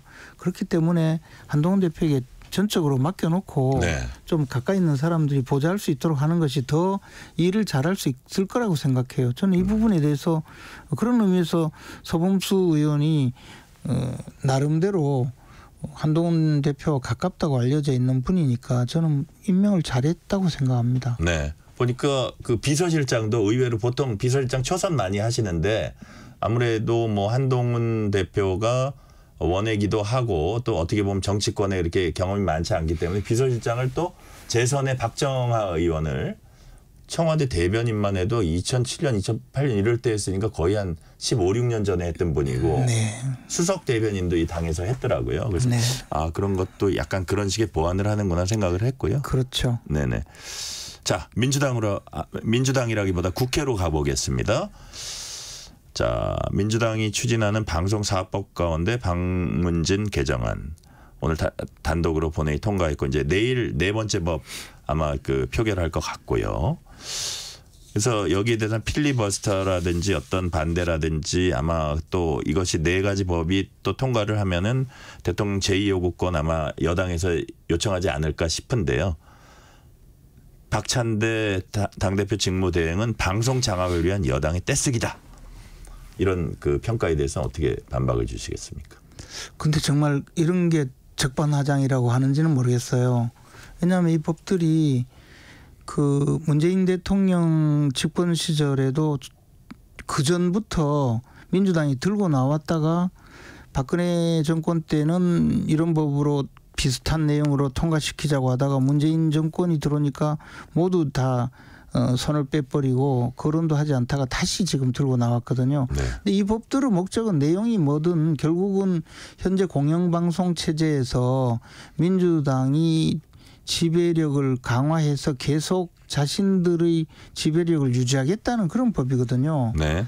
어, 뭐, 뭐, 무슨 이야기를 늘어놓더라도 결국 내용은 그거죠. 그리고 거기다가 어 조금 더 구체적으로 들어가면 방송통신위원회를 아예 무력화시켜서 회의조차 못하게 막는다든가 또는 더 나가서 어, 방송통신위원회가 모든 것이 이제 불법화되도록 만들려는 그런 생각도 있을 것 같아요. 근데 그 목적은 지금 당장 목전에 있는 어 문화 K MBC 문화방송의 그 임원에 대한 그 임원에 대한 임명권을 갖고 있는 네. 대주주 네. 즉 이른바 방문진의 이사 선임 문제가 있잖아요. 네네. 그 방문진 이사의 현재 임기가 8월 12일로 일부 저 이사들이 임기가 종료되는 것으로 아는데요. 그 이후에 민주당이 추천했던 분들이 이제 정권이 바뀌어서 어 국민의힘 쪽에서 어, 여당 쪽에서 추천을 할 상황이 되니까 그것을 추천하게 되는 방통위원장을 아예 일을 못하게 막으려고 하는 것 아니겠습니까? 그래서 법도 통과시키고 어 기존에 있던 방송통신위원장도 탄핵하겠다고 하고 또 직무대행 부위원장이 네. 직무대행을 하는데 그분도 탄핵을 하겠다 해서 두 분 다 사퇴를 할 수밖에 없도록 만들고 또 지금 현재 이진수 후보자는 또 어, 3일 그, 어, 계속해서 인사청문회를 해서 사실 뭘 잘못했는지는 모르겠는데 온갖 것을 지금 뭐 카드 얘기를 예, 많이 하고 있죠. 잡고 항상 그렇게 했죠. 과거에도 어, 강규영 이사였습니까? KBS 이사를 네. 몰아낼 때도 그런 방식을 썼는데 그렇게 해서 결국은 이, 이 문제에 대해서 온갖 이저 하자처럼 만들어서 덕지덕지 붙어놓고 붙여놓고 이제 이진수 후보자가 임명이 되면 방통위원장으로 임명되면 또 곧바로 탄핵하겠다고 아마 탄핵의 명분을 만드는 일을 이번에 벌인 것 같은데요. 진짜 임명을 할 수 있겠어요? 이 상황에서? 아니 임명해야죠. 뭐 임명 적격 사유가 있을까요? 아니 그게 아니라 네. 그럼 바로 탄핵 절차에 들어가면 네. 저기 사퇴를 안 할 방법이 있습니까? 목표는 저 네. 박문진 이사 임명 못하게 하는 것 아닌가요? 아니 그러니까 제가 보기에는 임명이 뭐 부당하냐 이, 이 차원이 아니라 네. 테크니컬한 문제입니다. 만약에 네. 대통령이 임명을 했다. 그러면 지금의 분위기로 볼 때는 탄핵 절차에 들어갈 것 같은데. 그렇죠. 그러면 이진숙이란 카드는 더 이상 쓸 수 없게 그러니까 되는 거 아니에요? 일회용 티슈처럼 마구 그 저 버려지는 어 그런 지금 논리잖아요. 근데 저 저는 개인적으로 이번에는 어, 물론 박문진 이사 선임 문제를 어, 제대로 진행을 하고 나서는 네. 탄핵 소추 발의를 한다면 한번 끝까지 한번 가서 어, 헌법재판소에 결정을 받아보는 것도 한 방법이라고 봅니다. 그럼 한 너다섯 달 동안 방통위 의결 저 기능이 마비되는데요. 그러니, 까 이게 문제가 심각하죠, 사실은. 자, 그래서 예, 예. 그래서 사실 저는 끝까지 가보는 것도 필요하다고 생각하는데 그럼 국가기관이 아무것도 못하게 되는 상황이 되죠. 그러면 어, 민주당이 국회에서 세 명의 방통위 상임위원을 선출을 해주든지 그것도 안 하면서 왜 이렇게 두 명만 가지고 운영을 하느냐. 네. 이게 이게 참 걱정이에요. 자 다음 질문으로 넘어갈게요. 한동훈 대표는 해병대원 특검법 관련해서 자기가 전당대회 과정에서 말한 것과 변한 건 없다. 당내 민주적 절차 통해서 설명드릴 생각이다. 그런데 친한 핵심으로 꼽히는 장동혁 최고위원은 지금 상황에서 여당 주도로 특검 추진하는 게 좀 더 신중해야 된다 이런 취지로 얘기를 하더라고요. 자, 지금 김재원 최고위원님이 느끼시기에 특검법에 대한 당내 여론이랄지 앞으로 어떤 방향으로 갈 것 같아요? 이 부분에 대해서는 좀 조심스럽게 말씀드려야 될 것 같아요. 왜냐하면 네. 한동훈 대표께서 어쨌든 제3자 추천 특검법을 당론 발의하겠다고 뭐 일종의 약속을 했었죠. 예, 당, 발언을 했습니다. 우리 당에서 주도해서 발의하겠다고 했거든요. 그런데 어, 그, 그 내용에 대해 소신에 변함이 없다고 하고 또 지금 민주적인 토론 과정을 거치겠다고 했잖아요. 그런데 네. 우리 당에서 어, 이런 법안을 당론으로 발의하려면 의원총회에서 의, 그 의결을 하든지 의, 의원들의 결정을 받아야 되는 거거든요. 네네. 기본적으로 국회 운영에 대해서는 원내대표가 최고 권한을 갖고 그 과정에서 어 최고 의사결정 그 기구는 의원총회에서 네. 결정하게 되어 있어요. 그리고 그 의원총회의 의장은 물론 저 그 원내대표죠. 네네. 그럼 원내대표와 협의를 잘 해서 지금 말씀하시는 그런 제3자 추천 특검법에 대해서 취지도 잘 설명하고 의원들 설득해서 제시할 거냐 여부가 이제 남은 상태예요. 네. 근데 장동혁 최고위원의 말은 그 행간에 제가 네. 보기에는 여, 야당이 지금 한동훈 대표 되면은 좀 지켜보고 뭔가 대화할 줄 알았더니 바로 재표결에 들어갔거든요. 네. 그런 상황에서 우리가 뭐 먼저 나서서 할 필요가 있냐 약간 이런 취지 같더라고요. 그래서 근데 그렇더라도 또 당 대표께서는 어, 소신이 그 똑같다고 하니까 네. 어떻게 되는지 잘 모르겠어요. 그리고 장동혁 대표, 장동혁 최고위원도 지금 당장 어, 민주당이 저렇게 그 더 강화된 특검법을 들고 나오겠다고 하는 판에 네네. 우리가 또 뭐 특검법 이야기를 하기가 실익이 없다 이런 표현인 것 같은데 어쨌든 어, 이 부분은 결국은 의원총회에서 결정이 되어야 되지 않을까 생각합니다. 네, 지금 국민의힘 김재원 최고위원과 얘기 나누고 있습니다. 마지막 질문 하나 드릴게요. 민주당 전당대회 지금 한창 진행 중인데 이재명 당대표 후보가 출마 선언에서 먹사니즘, 먹고 사는 게 최고의 문제다. 자, 김두관 후보는 오늘 민생경제 대연정 공식 제안했습니다. 네. 그러니까 당 대표 후보들이 이런 민생 문제 내거는데 국회에서 뭐 표결 처리되는 모습은 전혀 정반대예요. 그렇죠. 이 부분 평가 마지막으로 짧게 해주세요. 아니 그러니까 뭐 먹고 먹고 사는 문제가 먹산인지이라고 해놓고는 그 공영방송 장악할 국민만 하고 탄핵만 이야기하고 이게 과연 국민들 먹고 사는데 도움을 주는 주제인가요? 오히려 저는 어 먹고 사는 문제를 더 힘들게 만드는 주제라고 생각합니다. 저분들이 결국은 말로는 음 먹고 사는 문제를 이야기하지만 실질적으로는 자기들 권력 잡을 국립만 하는 그런 분들이죠. 그래서 너무나 신뢰할 수 없는 분들이라고 생각이 들어요. 네. 오늘은 여기까지 말씀 듣겠습니다. 국민의힘 김재원 최고위원이었습니다. 말씀 감사합니다. 고맙습니다.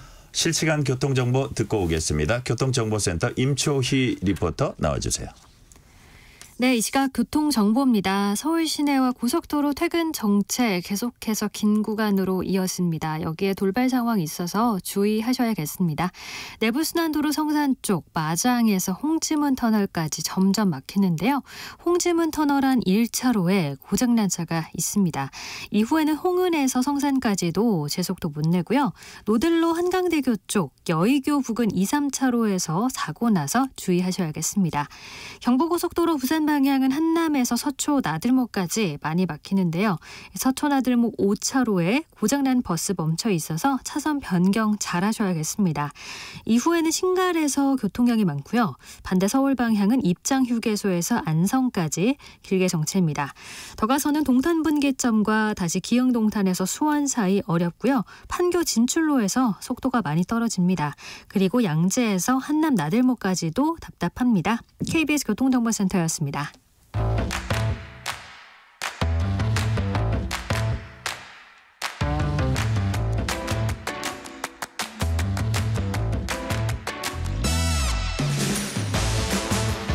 파고 또 파고 골라서 엄선한 뉴스만 전해드립니다. 파파뉴 코너 오늘은 국민일보 김윤아 기자와 함께하겠습니다.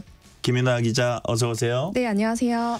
자 오늘 먼저 살펴볼 소식은 올림픽 소식입니다. 조금 전에 한국 사격 대표팀 반효진 선수가 공기소총 10m 여자 금메달을 추가했습니다. 그런데 이게 한국 역대 올림픽 100번째 메달이라고 해요. 네, 맞습니다. 네. 반효진 선수 16세로 한국 사격 대표팀 역대 최연소 선수인데요. 한국 사격 역사상 최연소 올림픽 메달리스트 기록도 새로 갈아치웠습니다. 네. 이번 대회에서 또 관심이 쏠렸던 게 이 한국의 100번째 올림픽 금메달 주인공 누가 될까였는데요. 반효진 선수가 주인공이 됐습니다.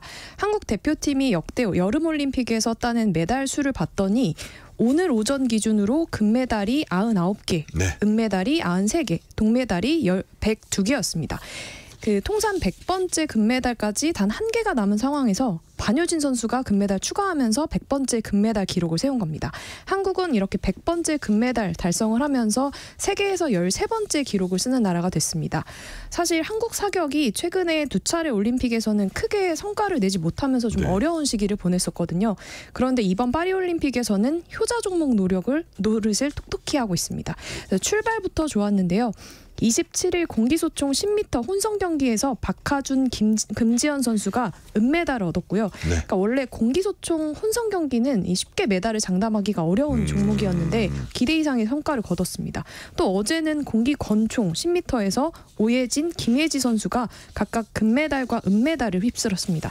이렇게 한국 사격 선수가 올림픽에서 금, 은 메달을 동반으로 딴 건 2012년 런던 올림픽 이후 12년 만입니다. 그리고 오늘 오후에 공기소총 10m 남자부 최대한 선수의 결승전도 있어서요. 좋은 소식이 기대되고 있습니다. 이야, 사격이 정말 정말 잘해요. 의외의 네. 성과라고 볼 수 있고. 자, 앞서서 한국 여자 양궁 대표팀이 10연패의 신화를 썼습니다. 그리고 10연패 신화를 쐈습니다. 네. 한밤중에 저도 봤거든요. 자, 김 기자님. 정말 간이 녹아들었던 경기 상황, 가슴이 쫄깃쫄깃했던 그때 상황 좀 전해주세요. 네, 오늘 새벽에 있었던 여자 양궁 단체전 결승에서 한국 대표팀이 중국을 세트 점수 5대 4로 꺾었습니다. 네. 여자 양궁은 단체전이 올림픽 정식 종목으로 채택된 게 1988년이었는데요. 이때 서울 올림픽부터였는데 이번 대회까지 모두 금메달을 따면서 10연패 기록을 세웠습니다. 경기 보신 분들 정말 긴장하면서 보셨을 것 같은데요. 양궁 단체전의 경우에는 총 4세트를 합니다. 그래서 한 번 이기면 2점을 갖는 방식이고요. 네네. 우승부 때는 1점을 가져옵니다. 그래서 5점을 먼저 챙기는 팀이 승리를 하게 되는데 1, 2세트에서는 한국이 중국을 가볍게 따돌렸거든요.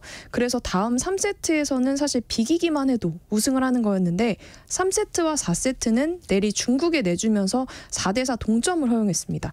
특히 3세트에서는 10점을 한 번도 쏘지 못하면서 아, 우리 대표팀이 조금 흔들리는 게 아닌가라는 네네. 생각도 아마 하셨을 건데요. 양궁에서 연장전을 뜻하는 슈도프까지 가게 됐습니다. 축구의 승부차기 생각하시면 쉬운데요. 슈도포는 이렇게 한 발씩 그 한 명이 한 발씩 총 세 발의 화살로 이 점수 합계를 계산하는 방식입니다. 와 얼마나 떨려요. 네, 그렇게 이제 한국은 10점, 9점, 10점 이렇게 차례로 쌌고요. 중국은 총점 27점에 그치면서 한국이 결국 금메달을 거머쥐었습니다. 그리고 오늘 오후 9시 38분에는 한국 남자 양궁 대표팀도 메달 사냥에 나섰는데요. 단체 8강부터 결승에 도전을 해서 여기도 좋은 성적이 기대되는 상황입니다. 네. 제가 이제 그 아까 말씀하신 그 축구로 치면은 승부차기에 해당하는 슛오프 그 부분 이렇게 보니까 우리 세 선수 중에 두 선수가 9점과 10점 경계선에 딱 맞았어요. 네. 그게 이제 10점으로 저기 그 인정이 돼가지고 29점이 된 거죠. 네. 그래가지고 와 근데 그 상황에서 어떻게 10점을 쏠 수 있을까요? 네, 저는 그, 정말 놀랍습니다. 네. 심박수도 굉장히 평온했다고 합니다. 심박수도 평온했대요. 네. 그러니까 그것도 다 어떤 훈련의 결과가 아닐까 생각이 들고요. 4222님이 이런 문자 주셨습니다. 우리나라 선수들 잘하고 있습니다. 자랑스럽고 대단합니다. 감사합니다. 이런 말씀 고마운 말씀 주셨습니다. 다음은 티몬 위메프 사태 관련 소식입니다. 이커머스 티몬과 위메프의 정산 지연 사태가 계속 확산하고 있습니다. 침묵하던 구영배 큐텐 대표가 오늘 입장문을 냈어요. 어떤 내용 담겼습니까? 네, 사실 어제까지만 해도 구 대표 행방이 모연했습니다. 네네. 특히 사옥에 피해자들이 몰려가서 환불 요청도 막 하고 항의도 하, 했었는데 국내에 있어요? 네, 근데 네, 국내에 있다고 이제 연락이 왔고요. 아, 그리고 현장에도 사실 구 대표가 나타나지 않았었는데 그래서 구 대표가 사태를 회피하고 있는 거 아니냐 이런 비판이 좀 나왔었습니다. 음. 오늘 입장문을 냈고요. 입장문에 보면 본인이 일부러 이렇게 잠행을 한 게 아니라 뭐 정상화 방안을 마련하려고 노력하다 보니까 입장 표명이 늦어졌다 이렇게 네. 설명을 했고요. 그러면서 두 가지를 강조를 했습니다. 하나는 소비자 피해를 최소화하겠다라는 거였고 또 하나는 사태 확산을 막겠다라는 겁니다. 그래서 일단 피해 회복 자금 지원을 위해서 해외 자금 유입을 추진하고 있고 또 큐텐이 갖고 있는 자산이나 지분을 처분하는 방식으로 돈을 마련하고 있다는 겁니다. 또 뭐 그룹 차원의 펀딩이나 M&A 이런 것도 추진을 하고 있는데 있는데 다만 뭐 세부적인 내용은 공개할 수 없다 이렇게 설명을 했습니다. 네. 그리고 자신이 갖고 있는 재산 대부분인 이 큐텐 지분 전체를 매각하거나 아니면 담보로 활용을 해서 사재를 사태 수습에 쓰겠다 이렇게도 약속을 했습니다. 그런데 사실 얼마나 자금을 끌어모을 수 있을지 이건 좀 미지수인데요. 그게 관건이잖아요. 네. 큐텐의 네. 다른 계열사도 사실 지금 적자 규모가 상당하기 때문에 자금을 끌어모을 수 있는 여력이 크지 않습니다. 그리고 뭐 소비자들 피해도 있긴 하지만 지금 판매자들 피해도 큰 상황이거든요. 그래서 판매자들한테는 지연 이자를 지급하고 앞으로 뭐 판매 수수료 감면과 같은 보상 프로그램을 마련하겠다라는 건데 사실 이 사태가 제대로 수습되지 않으면 판매자들이 다시 뭐 티몬이나 위메프에 입점해서 팔 리가 없잖아요. 네. 그래서 이게 현실성 있는 대책이냐 이런 불만도 나오는 상황이고요. 오늘 팀원과 위메프는 법원에 기업 회생 신청도 접수를 했습니다. 이 회생 절차에 들어가게 되면 모든 채권이 동결이 됩니다. 그래서 아. 판매 대금을 받기가 더 어려워지고요. 그마저도 법정 관리가 성사가 돼야지 이 회생 절차가 개시가 되는 건데 채권단이 동의해 줄지 의문입니다. 왜냐하면 사실 이 회생 절차라는 게 돈을 갚을 가능성이 있는지 이걸 보고 채권단이 동의를 해주는 건데 이 가능성이 사실상 크지 않다라고 보고 있기 때문입니다.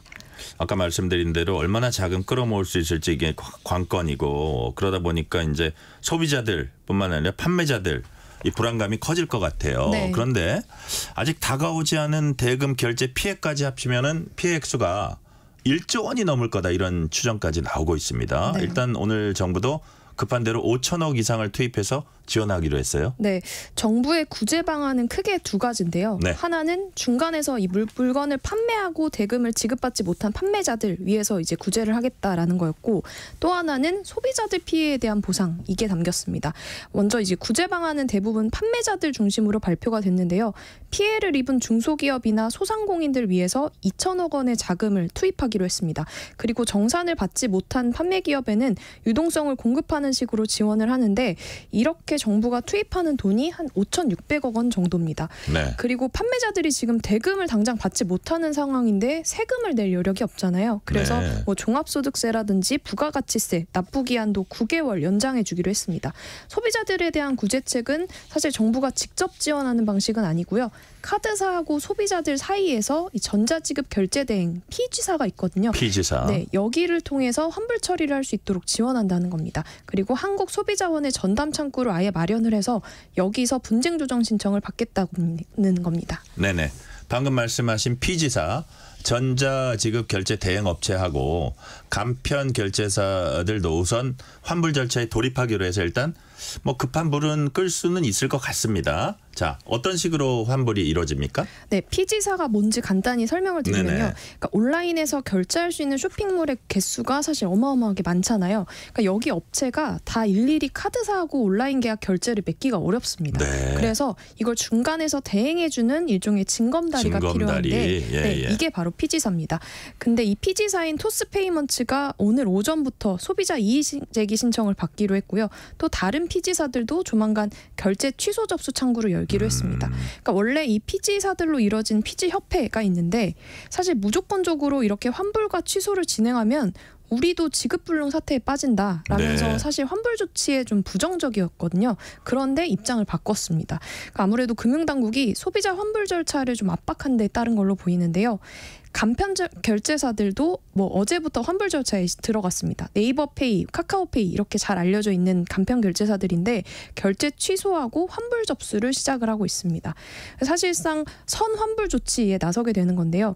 간편 결제사들은 우선 소비자들한테 돈을 먼저 환불을 진행하고 나중에 뭐 티몬이나 위메프 쪽에 구상권을 청구하는 음. 방식 이런 걸로 수순을 밟을 본래 순서하고는 좀 거꾸로 된 거네요. 네, 소비자들 대... 이제 그, 그 어떤 감정이나 이런 것들 이제 불안이 있으니까. 네, 일단은 구제를 해준다라는 거고요. 네네. 그래서 그 소비자들이 이렇게 되면은 환불 조치를 일단 받을 수 있으니까 급한 불은 끌 수 있게 되는데, 네. 근데 모든 소비자들이 다 뭐 카드 결제나 이런 간편 결제 이것만 쓰는 게 아니거든요. 계좌이체를 비롯해서 현금으로 구매한 이용자들도 있습니다. 음. 근데 이런 분들은 티몬과 미메프에 직접 결제 취소를 해야 하거나 아니면 환불 신청을 해야만 하는 상황입니다. 네. 그래 서 이렇게 결국에 사태 책임은 업체한테 있는데 정작 업체는 책임 있는 보상을 하지 않고 있고 음. 왜 카드사나 뭐 피지사가 수습 책임을 떠안냐 이런 비판도 커지고 있습니다. 그러니까요. 자. 마지막 주제로 넘어갑니다. 지난달 윤석열 대통령이 인구 비상사태를 선포했습니다. 오늘은 2차 인구 비상대책 회의가 열렸습니다. 저출생 문제 해결을 위한 방안 어떤 것들이 포함 이 됐습니까? 네, 6월에 이미 정부가 저출생 대책 발표를 했는데 이걸 잘 이행하기 위해서는 사실 현실적으로 법이 개정돼야 하는 부분들이 많거든요. 네. 또 시행령도 마련돼야 하는데 그래서 이 지난번에는 일종의 구상을 밝히는 수준이었다면 이거를 제도로 뒷받침하겠다. 뭐 이런 음. 취지입니다. 좀 어떻게 세부적인 내용이 조금 나왔나요? 네, 구체적인 방안 나왔는데요. 사실 이 먼저 그 결혼을 안 하는 문제 이거를 음. 해결하기 위해서 요즘에 이제 결혼을 망, 망설이는 예비 부부들이 일명 그 스드메라고 불리는 서비스 네, 때문에 네. 부담을 많이 느끼는데 스튜디오 촬영, 드레스 대여, 메이크업 이걸 음. 뜻합니다. 그래서 이걸 뭐 같이 끼어 팔거나 아니면은 과도하게 위약금 무는 경우들이 많아서 공정거래위원회가 직접 직권 조사에 나서기로 했습니다. 스드메. 네. 네네. 자. 직권조사를 공정거래위원회가 앞으로 펼치기로 했다는 말씀 해주셨는데 자 근데 저출생 대책에서 가장 사실 큰 부분이 주거 문제잖아요. 네. 우리 이제 뭐 결혼 생활을 하고 하다 보면 아 이게 대한민국에서 집 문제 이게 보통 문제가 아닌데 그렇다면 이번에 주거 대책도 어떤 보완이 좀 됐습니까? 네, 그러니까 첫 번째는 신생아 가구한테 공공 임대주택의 우선 공급을 해주겠다는 겁니다. 네. 우선 공급이라는 게 민간에서 하는 특별 분양 생각하시면 쉬운데요. 이게 기존에도 있었던 거 아니야? 뭐 이렇게 생각하실 수 있는데 그 차이를 설명드리면요. 음. 현재는 그 뭐 국가유공자나 탈북자 이런 식으로 분야를 나눠서 각각 네. 배정된 몫을 줬다면 이제 그 이제는 아예 그 신생아를 따로 모집하지 않고 아예 신생아를 어느 분야든 1순위로 배정해 주겠다는 겁니다. 네. 그러니까 예를 들어서 신혼부부 자격이 되면서 신생아가 있다라고 한다면 신혼부부 1순위로 배정을 받게 되고요. 예. 장애인이면서 신생아가 있다라고 한다면 장애인 1순위가 되는 겁니다. 그래서 어떤 분야든지 이 신생아가 있는 가구라면 우선적으로 공급을 해주겠다라는 게 이번 개선안의 핵심이고요. 네. 두 번째는 가구 수에 따라서 지원할 수 있는 면적이 제한돼 있었는데 이것도 폐지하기로 했습니다. 그래서 기존에는 뭐 가구 수가 두 명이면 26에서 44제곱미터 아니면 네. 3인의 경우에는 36에서 50제곱미터식으로 면적 기준을 정해뒀었는데 앞으로는 이걸 없앤다는 겁니다. 네. 면적 기준도 없앤다 는 얘기까지 오늘 듣겠습니다. 여기까지 말씀 듣겠습니다. 지금까지 국민일보 김유나 기자였습니다. 말씀 감사합니다. 감사합니다.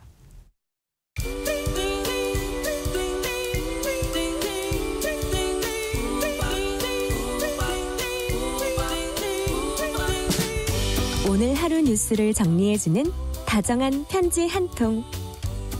KBS 일라디오 뉴스레터 K.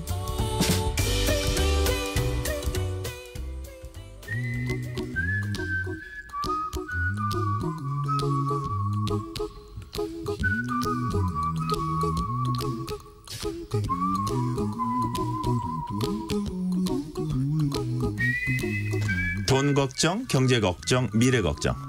Don't worry. 전문가와 함께 모든 경제 걱정 해소해드리는 시간입니다. 오늘도 권혁중 경제평론가와 함께 얘기 나눠보겠습니다. 권혁중 평론가님 어서 오세요. 네 안녕하십니까.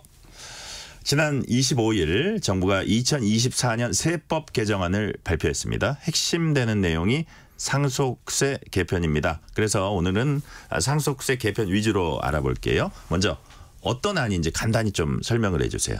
일단 뭐 많은 분들이 그 누리꾼들이 얘기하는데 정부 아니거든요. 네. 이게 뭐 국회에서 통과된 내용은 아니다. 그러니까요. 네, 좀 먼저 좀 말씀을 그 드리겠고. 질문은 뒤에 또 드릴 겁니다. 네. 네네. 그래서 일단 지금 정부 안을 본다 그러면 뭐 세율이라든지 아니면 과세 표준, 그다음에 공제 모두 이런 부분에서 다 개편이 됐는데 눈에 띄는 게 가장 이제 띄는 게 최고 세율이 좀 낮춰졌다라는 거죠. 보통 음. 이제는 현행 같은 경우에는 30억 원 초과 같은 경우는 최고 세율이 이제 50% 이렇게 돼 있거든요. 네. 이게 이제는 조정안이 이제 10억 원 초과되면 40%로 그러니까 사실상 최고 세율이 10% 포인트 정도 이제 낮아졌다 이렇게 네. 보시면 되겠고 그 다음에 이제는 현행으로 보면 1억 원 이하 같은 경우가 과세 표준입니다. 이게 10% 세율이 있는데 어, 조정을 본다 그러면 이제 2억 원 이하가 10% 이렇게 돼 있기 때문에 좀 더 완화됐다 이렇게 보시면 되는데요.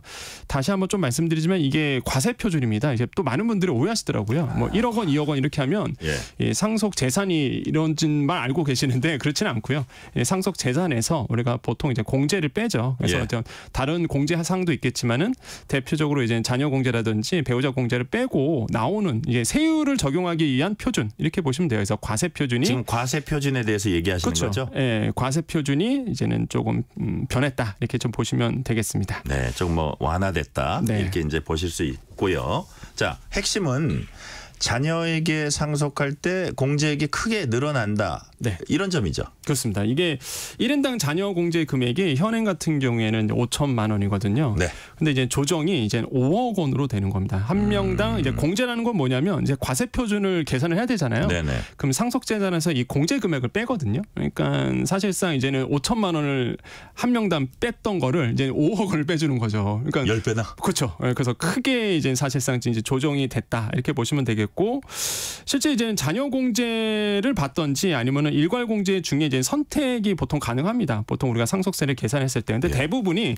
사실상 자녀 공제를 안 하죠. 왜 그러냐면 한 명당 5천만 원이고 이게 일괄 공제가 5억 원이니까 당연히 일괄 공제를 다 선택하셨거든요, 지금까지. 네네네. 일괄 공제 5억 원까지 되려고 그러면 자녀가 6명 이상이어야 돼요. 그러니까 5천만 원에 사실 이제 6명 되면은 3, 3억 원에다가 기초 예. 공제가 있거든요. 예. 이게 2억 원이니까 그렇게 된다 그러면 자녀가 6명이 돼야지만 사실상 가능한 거예요. 예, 일괄 공제 5억 원 정도 나오니까 대부분이 6명 안 되잖아요. 그러니까 예. 대부분이 선택을 했을 때 자녀 공제는 안 하고요. 일괄 공제를 했었어요. 그래서 5억 원을 이제 사실상 아, 이게 10배 상향 그래도 그냥 있는 한 명 갖고 그런 게 전혀 아니군요. 네, 네, 네. 그래서 어. 사실상 만약에 5억 원으로 높여진다 그러면 제가 봤을 땐 조정안으로 간다 그러면 아마 대부분 재산이 좀 있으시고 상속세 계산했을 때 이갈 공제 대부분 안 하시고요. 아마 자녀 공제로 다 선택을 하시지 않을까. 근데 이 런 게 우리 권혁중 평론가님 보시기에는 네. 출산하고도 좀 연결이 될 수 있는 부분이라고 보세요. 어, 예, 저는 충분히 있다고 봐요. 그래요? 왜냐하면 애가 많으면 많아서 생각해 보세요. 세 명이면은 사실상 5억 원, 한 명당 5억 원이잖아요. 예, 예. 그러면 이제 5억 원, 5억 원, 5억 원 이렇게 되기 때문에 음. 세, 제가 봤을 때는 충분히 출산하는데 도움이 될 거라고 보고 일단 두 명만 있어도 예. 실제적으로 보면은 만약에 배우자 공제까지 하면 17억까지는 사실상 공제가 되잖아요. 예. 그러면 도움이 되죠, 사실상. 그러면 오, 지금 자녀 두 명 있으신 분들이 많잖아요. 예, 예. 예 그러면은 기존에 있는 세법보다는 훨씬 더 이게 크게 이제는 만약에 상속 재산이 있다고 음. 가정한다 그러면 네. 크게 도움이 됩니다. 그래서 아마 출산 때문에 아마 출산을 상당히 겨냥한 예, 그, 저 저는 부분이다. 그렇게 봐요. 예, 저는 예. 그렇게 봐요. 그래서 아마 애가 아이가 많으면 많을수록 이제 도움이 된다 이렇게 좀 생각을 해봅니다. 네. 자 이번에 상속세를 개정하게 되면은 25년 만에 개편입니다. 네. 사실 개선 필요성은 그동안 이제 꾸준히 제기가 돼 왔었는데 근데 문제는 네. 이게 지금 정부 아니잖아요. 맞습니다. 국회 논의 과정에서 진통이 예상되죠. 네, 뭐 그렇습니다. 부자 감세라든지 뭐 이런 네. 얘기 나올 것 같아요. 예, 부자 감세 얘기는 이제는 야당 쪽에서 계속 나오고 예, 있고요. 예. 뭐저 개인적 생각은 저는 뭐 부자 감세 아니라고 저는 생각을 아, 하거든요. 아, 그러세요? 왜냐면 어떤, 어떤 면에서 상속세라는 게 결국에는 사망세거든요. 그러니까 네. 사망세라는 게 이제는 누군가 이제 돌아가셨을 때 그러니까 자녀들에게 사실 재산이 무상으로 이전되다 보니까 이거에 대해서 이제는 세금을 내는 게 사실 상속세인데 근데 재산을 증식했을 때 그 돌아가신 분이 세금을 내죠. 소득세라는 걸 냅니다. 그러니까 예. 사실 소득세를 한번 냈는데 이거를 이제는 뭐 말 그대로 상속을 한다는 이유만으로 상속세를 50%까지 때리 때리는 게 지나치다?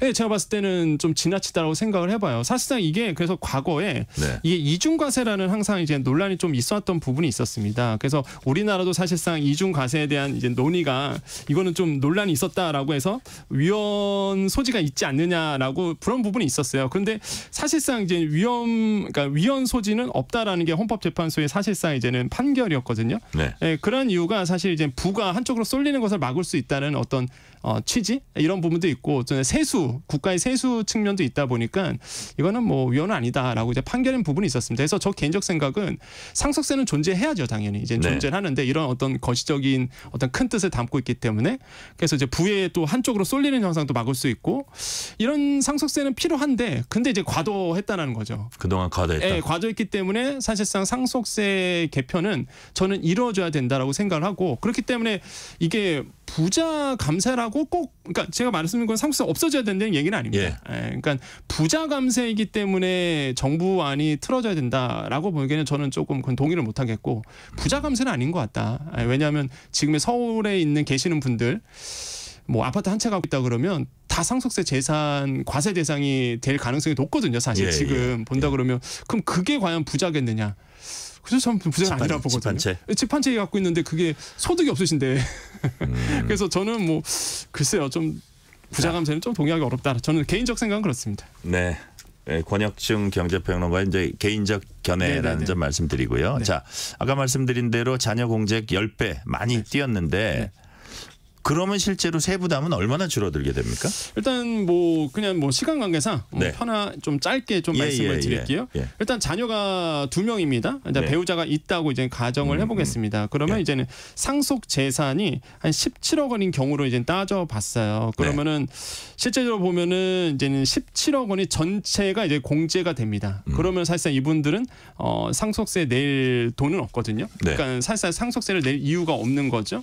그러니까 왜 그러냐면 이 자녀 공제 아까 말씀드렸잖아요. 자녀 공제 같은 경우가 원래는 이제 5천만 원이었습니다. 음. 그러면은 거기에 이제 기초 공제 2억 원 해서 계산했는데 네. 그다음에 이제는 일괄 공제를 선택하든 둘 중 하나 선택하는 건데 대부분 아까 일괄 공제를 선택했다고 했잖아요. 근데 이번에 만약에 한 명당 5억 원씩 돼 버리면은 사실상 자녀 두 명에다가 그다음 배우자까지 있다라고 본다 그러면 배우자 공제 5억 원에다가 그다음에 자녀 공제 5억 5억 두 명이니까 10억이 되잖아요. 거기에다가 이제 기초 공제 2억. 이래 하면은 17억까지 사실 공제가 되거든요. 그럼 17억의 재산이 있으신 분들은 17억까지는 사실 공제 금액으로 마이너스 치기 때문에 네. 상속 재산 그러니까 상속세를 낼 이유가 없는 거죠. 그러면 이렇게 보시면 돼요. 우리나라의 그러면 서울 아파트 가격이 어떻게 되느냐?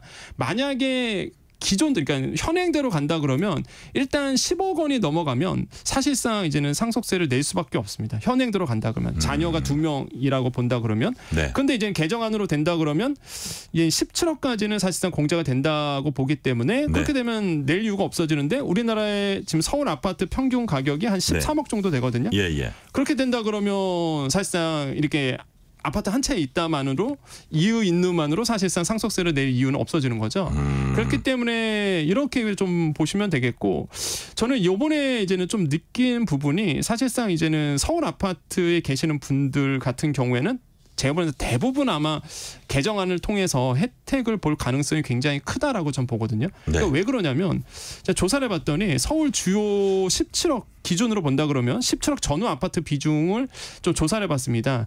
강남 3구나 용산구 같은 경우에는 뭐 강남구 같은 경우는 83%가 17억이 넘어가요. 네. 그러니까 이런 분들은 사실상 상속세액이 좀 낮아지겠죠. 근데 이제는 뭐 예를 들어서 노원구, 도봉구 뭐 이런 쪽은요 17억이 넘어간 아파트가 없습니다.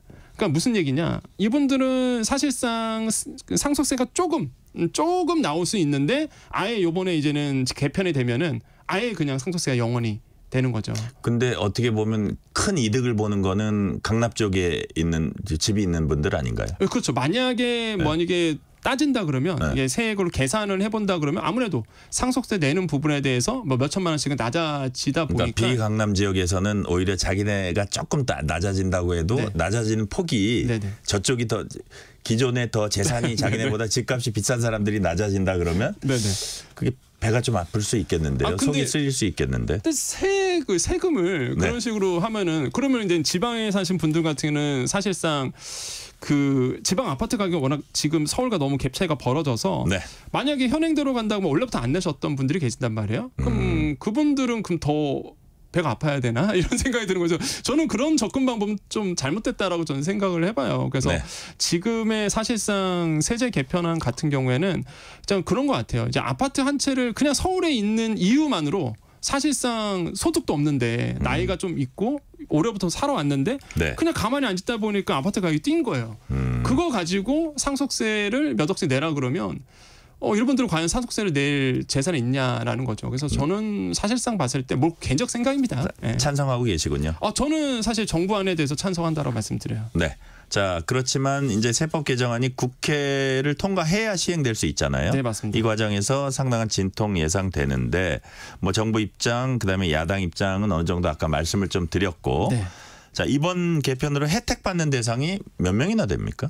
그리고 또 중산층 세부 부담 완화 효과 있다고 보시는 거죠? 네, 그렇죠. 그냥 혜택 받는다라고 본다 그러면 이제 네. 서울에 살고 있는 중산층인 음. 대부분의 혜택을 받는다. 아까 말씀드렸잖아요. 네.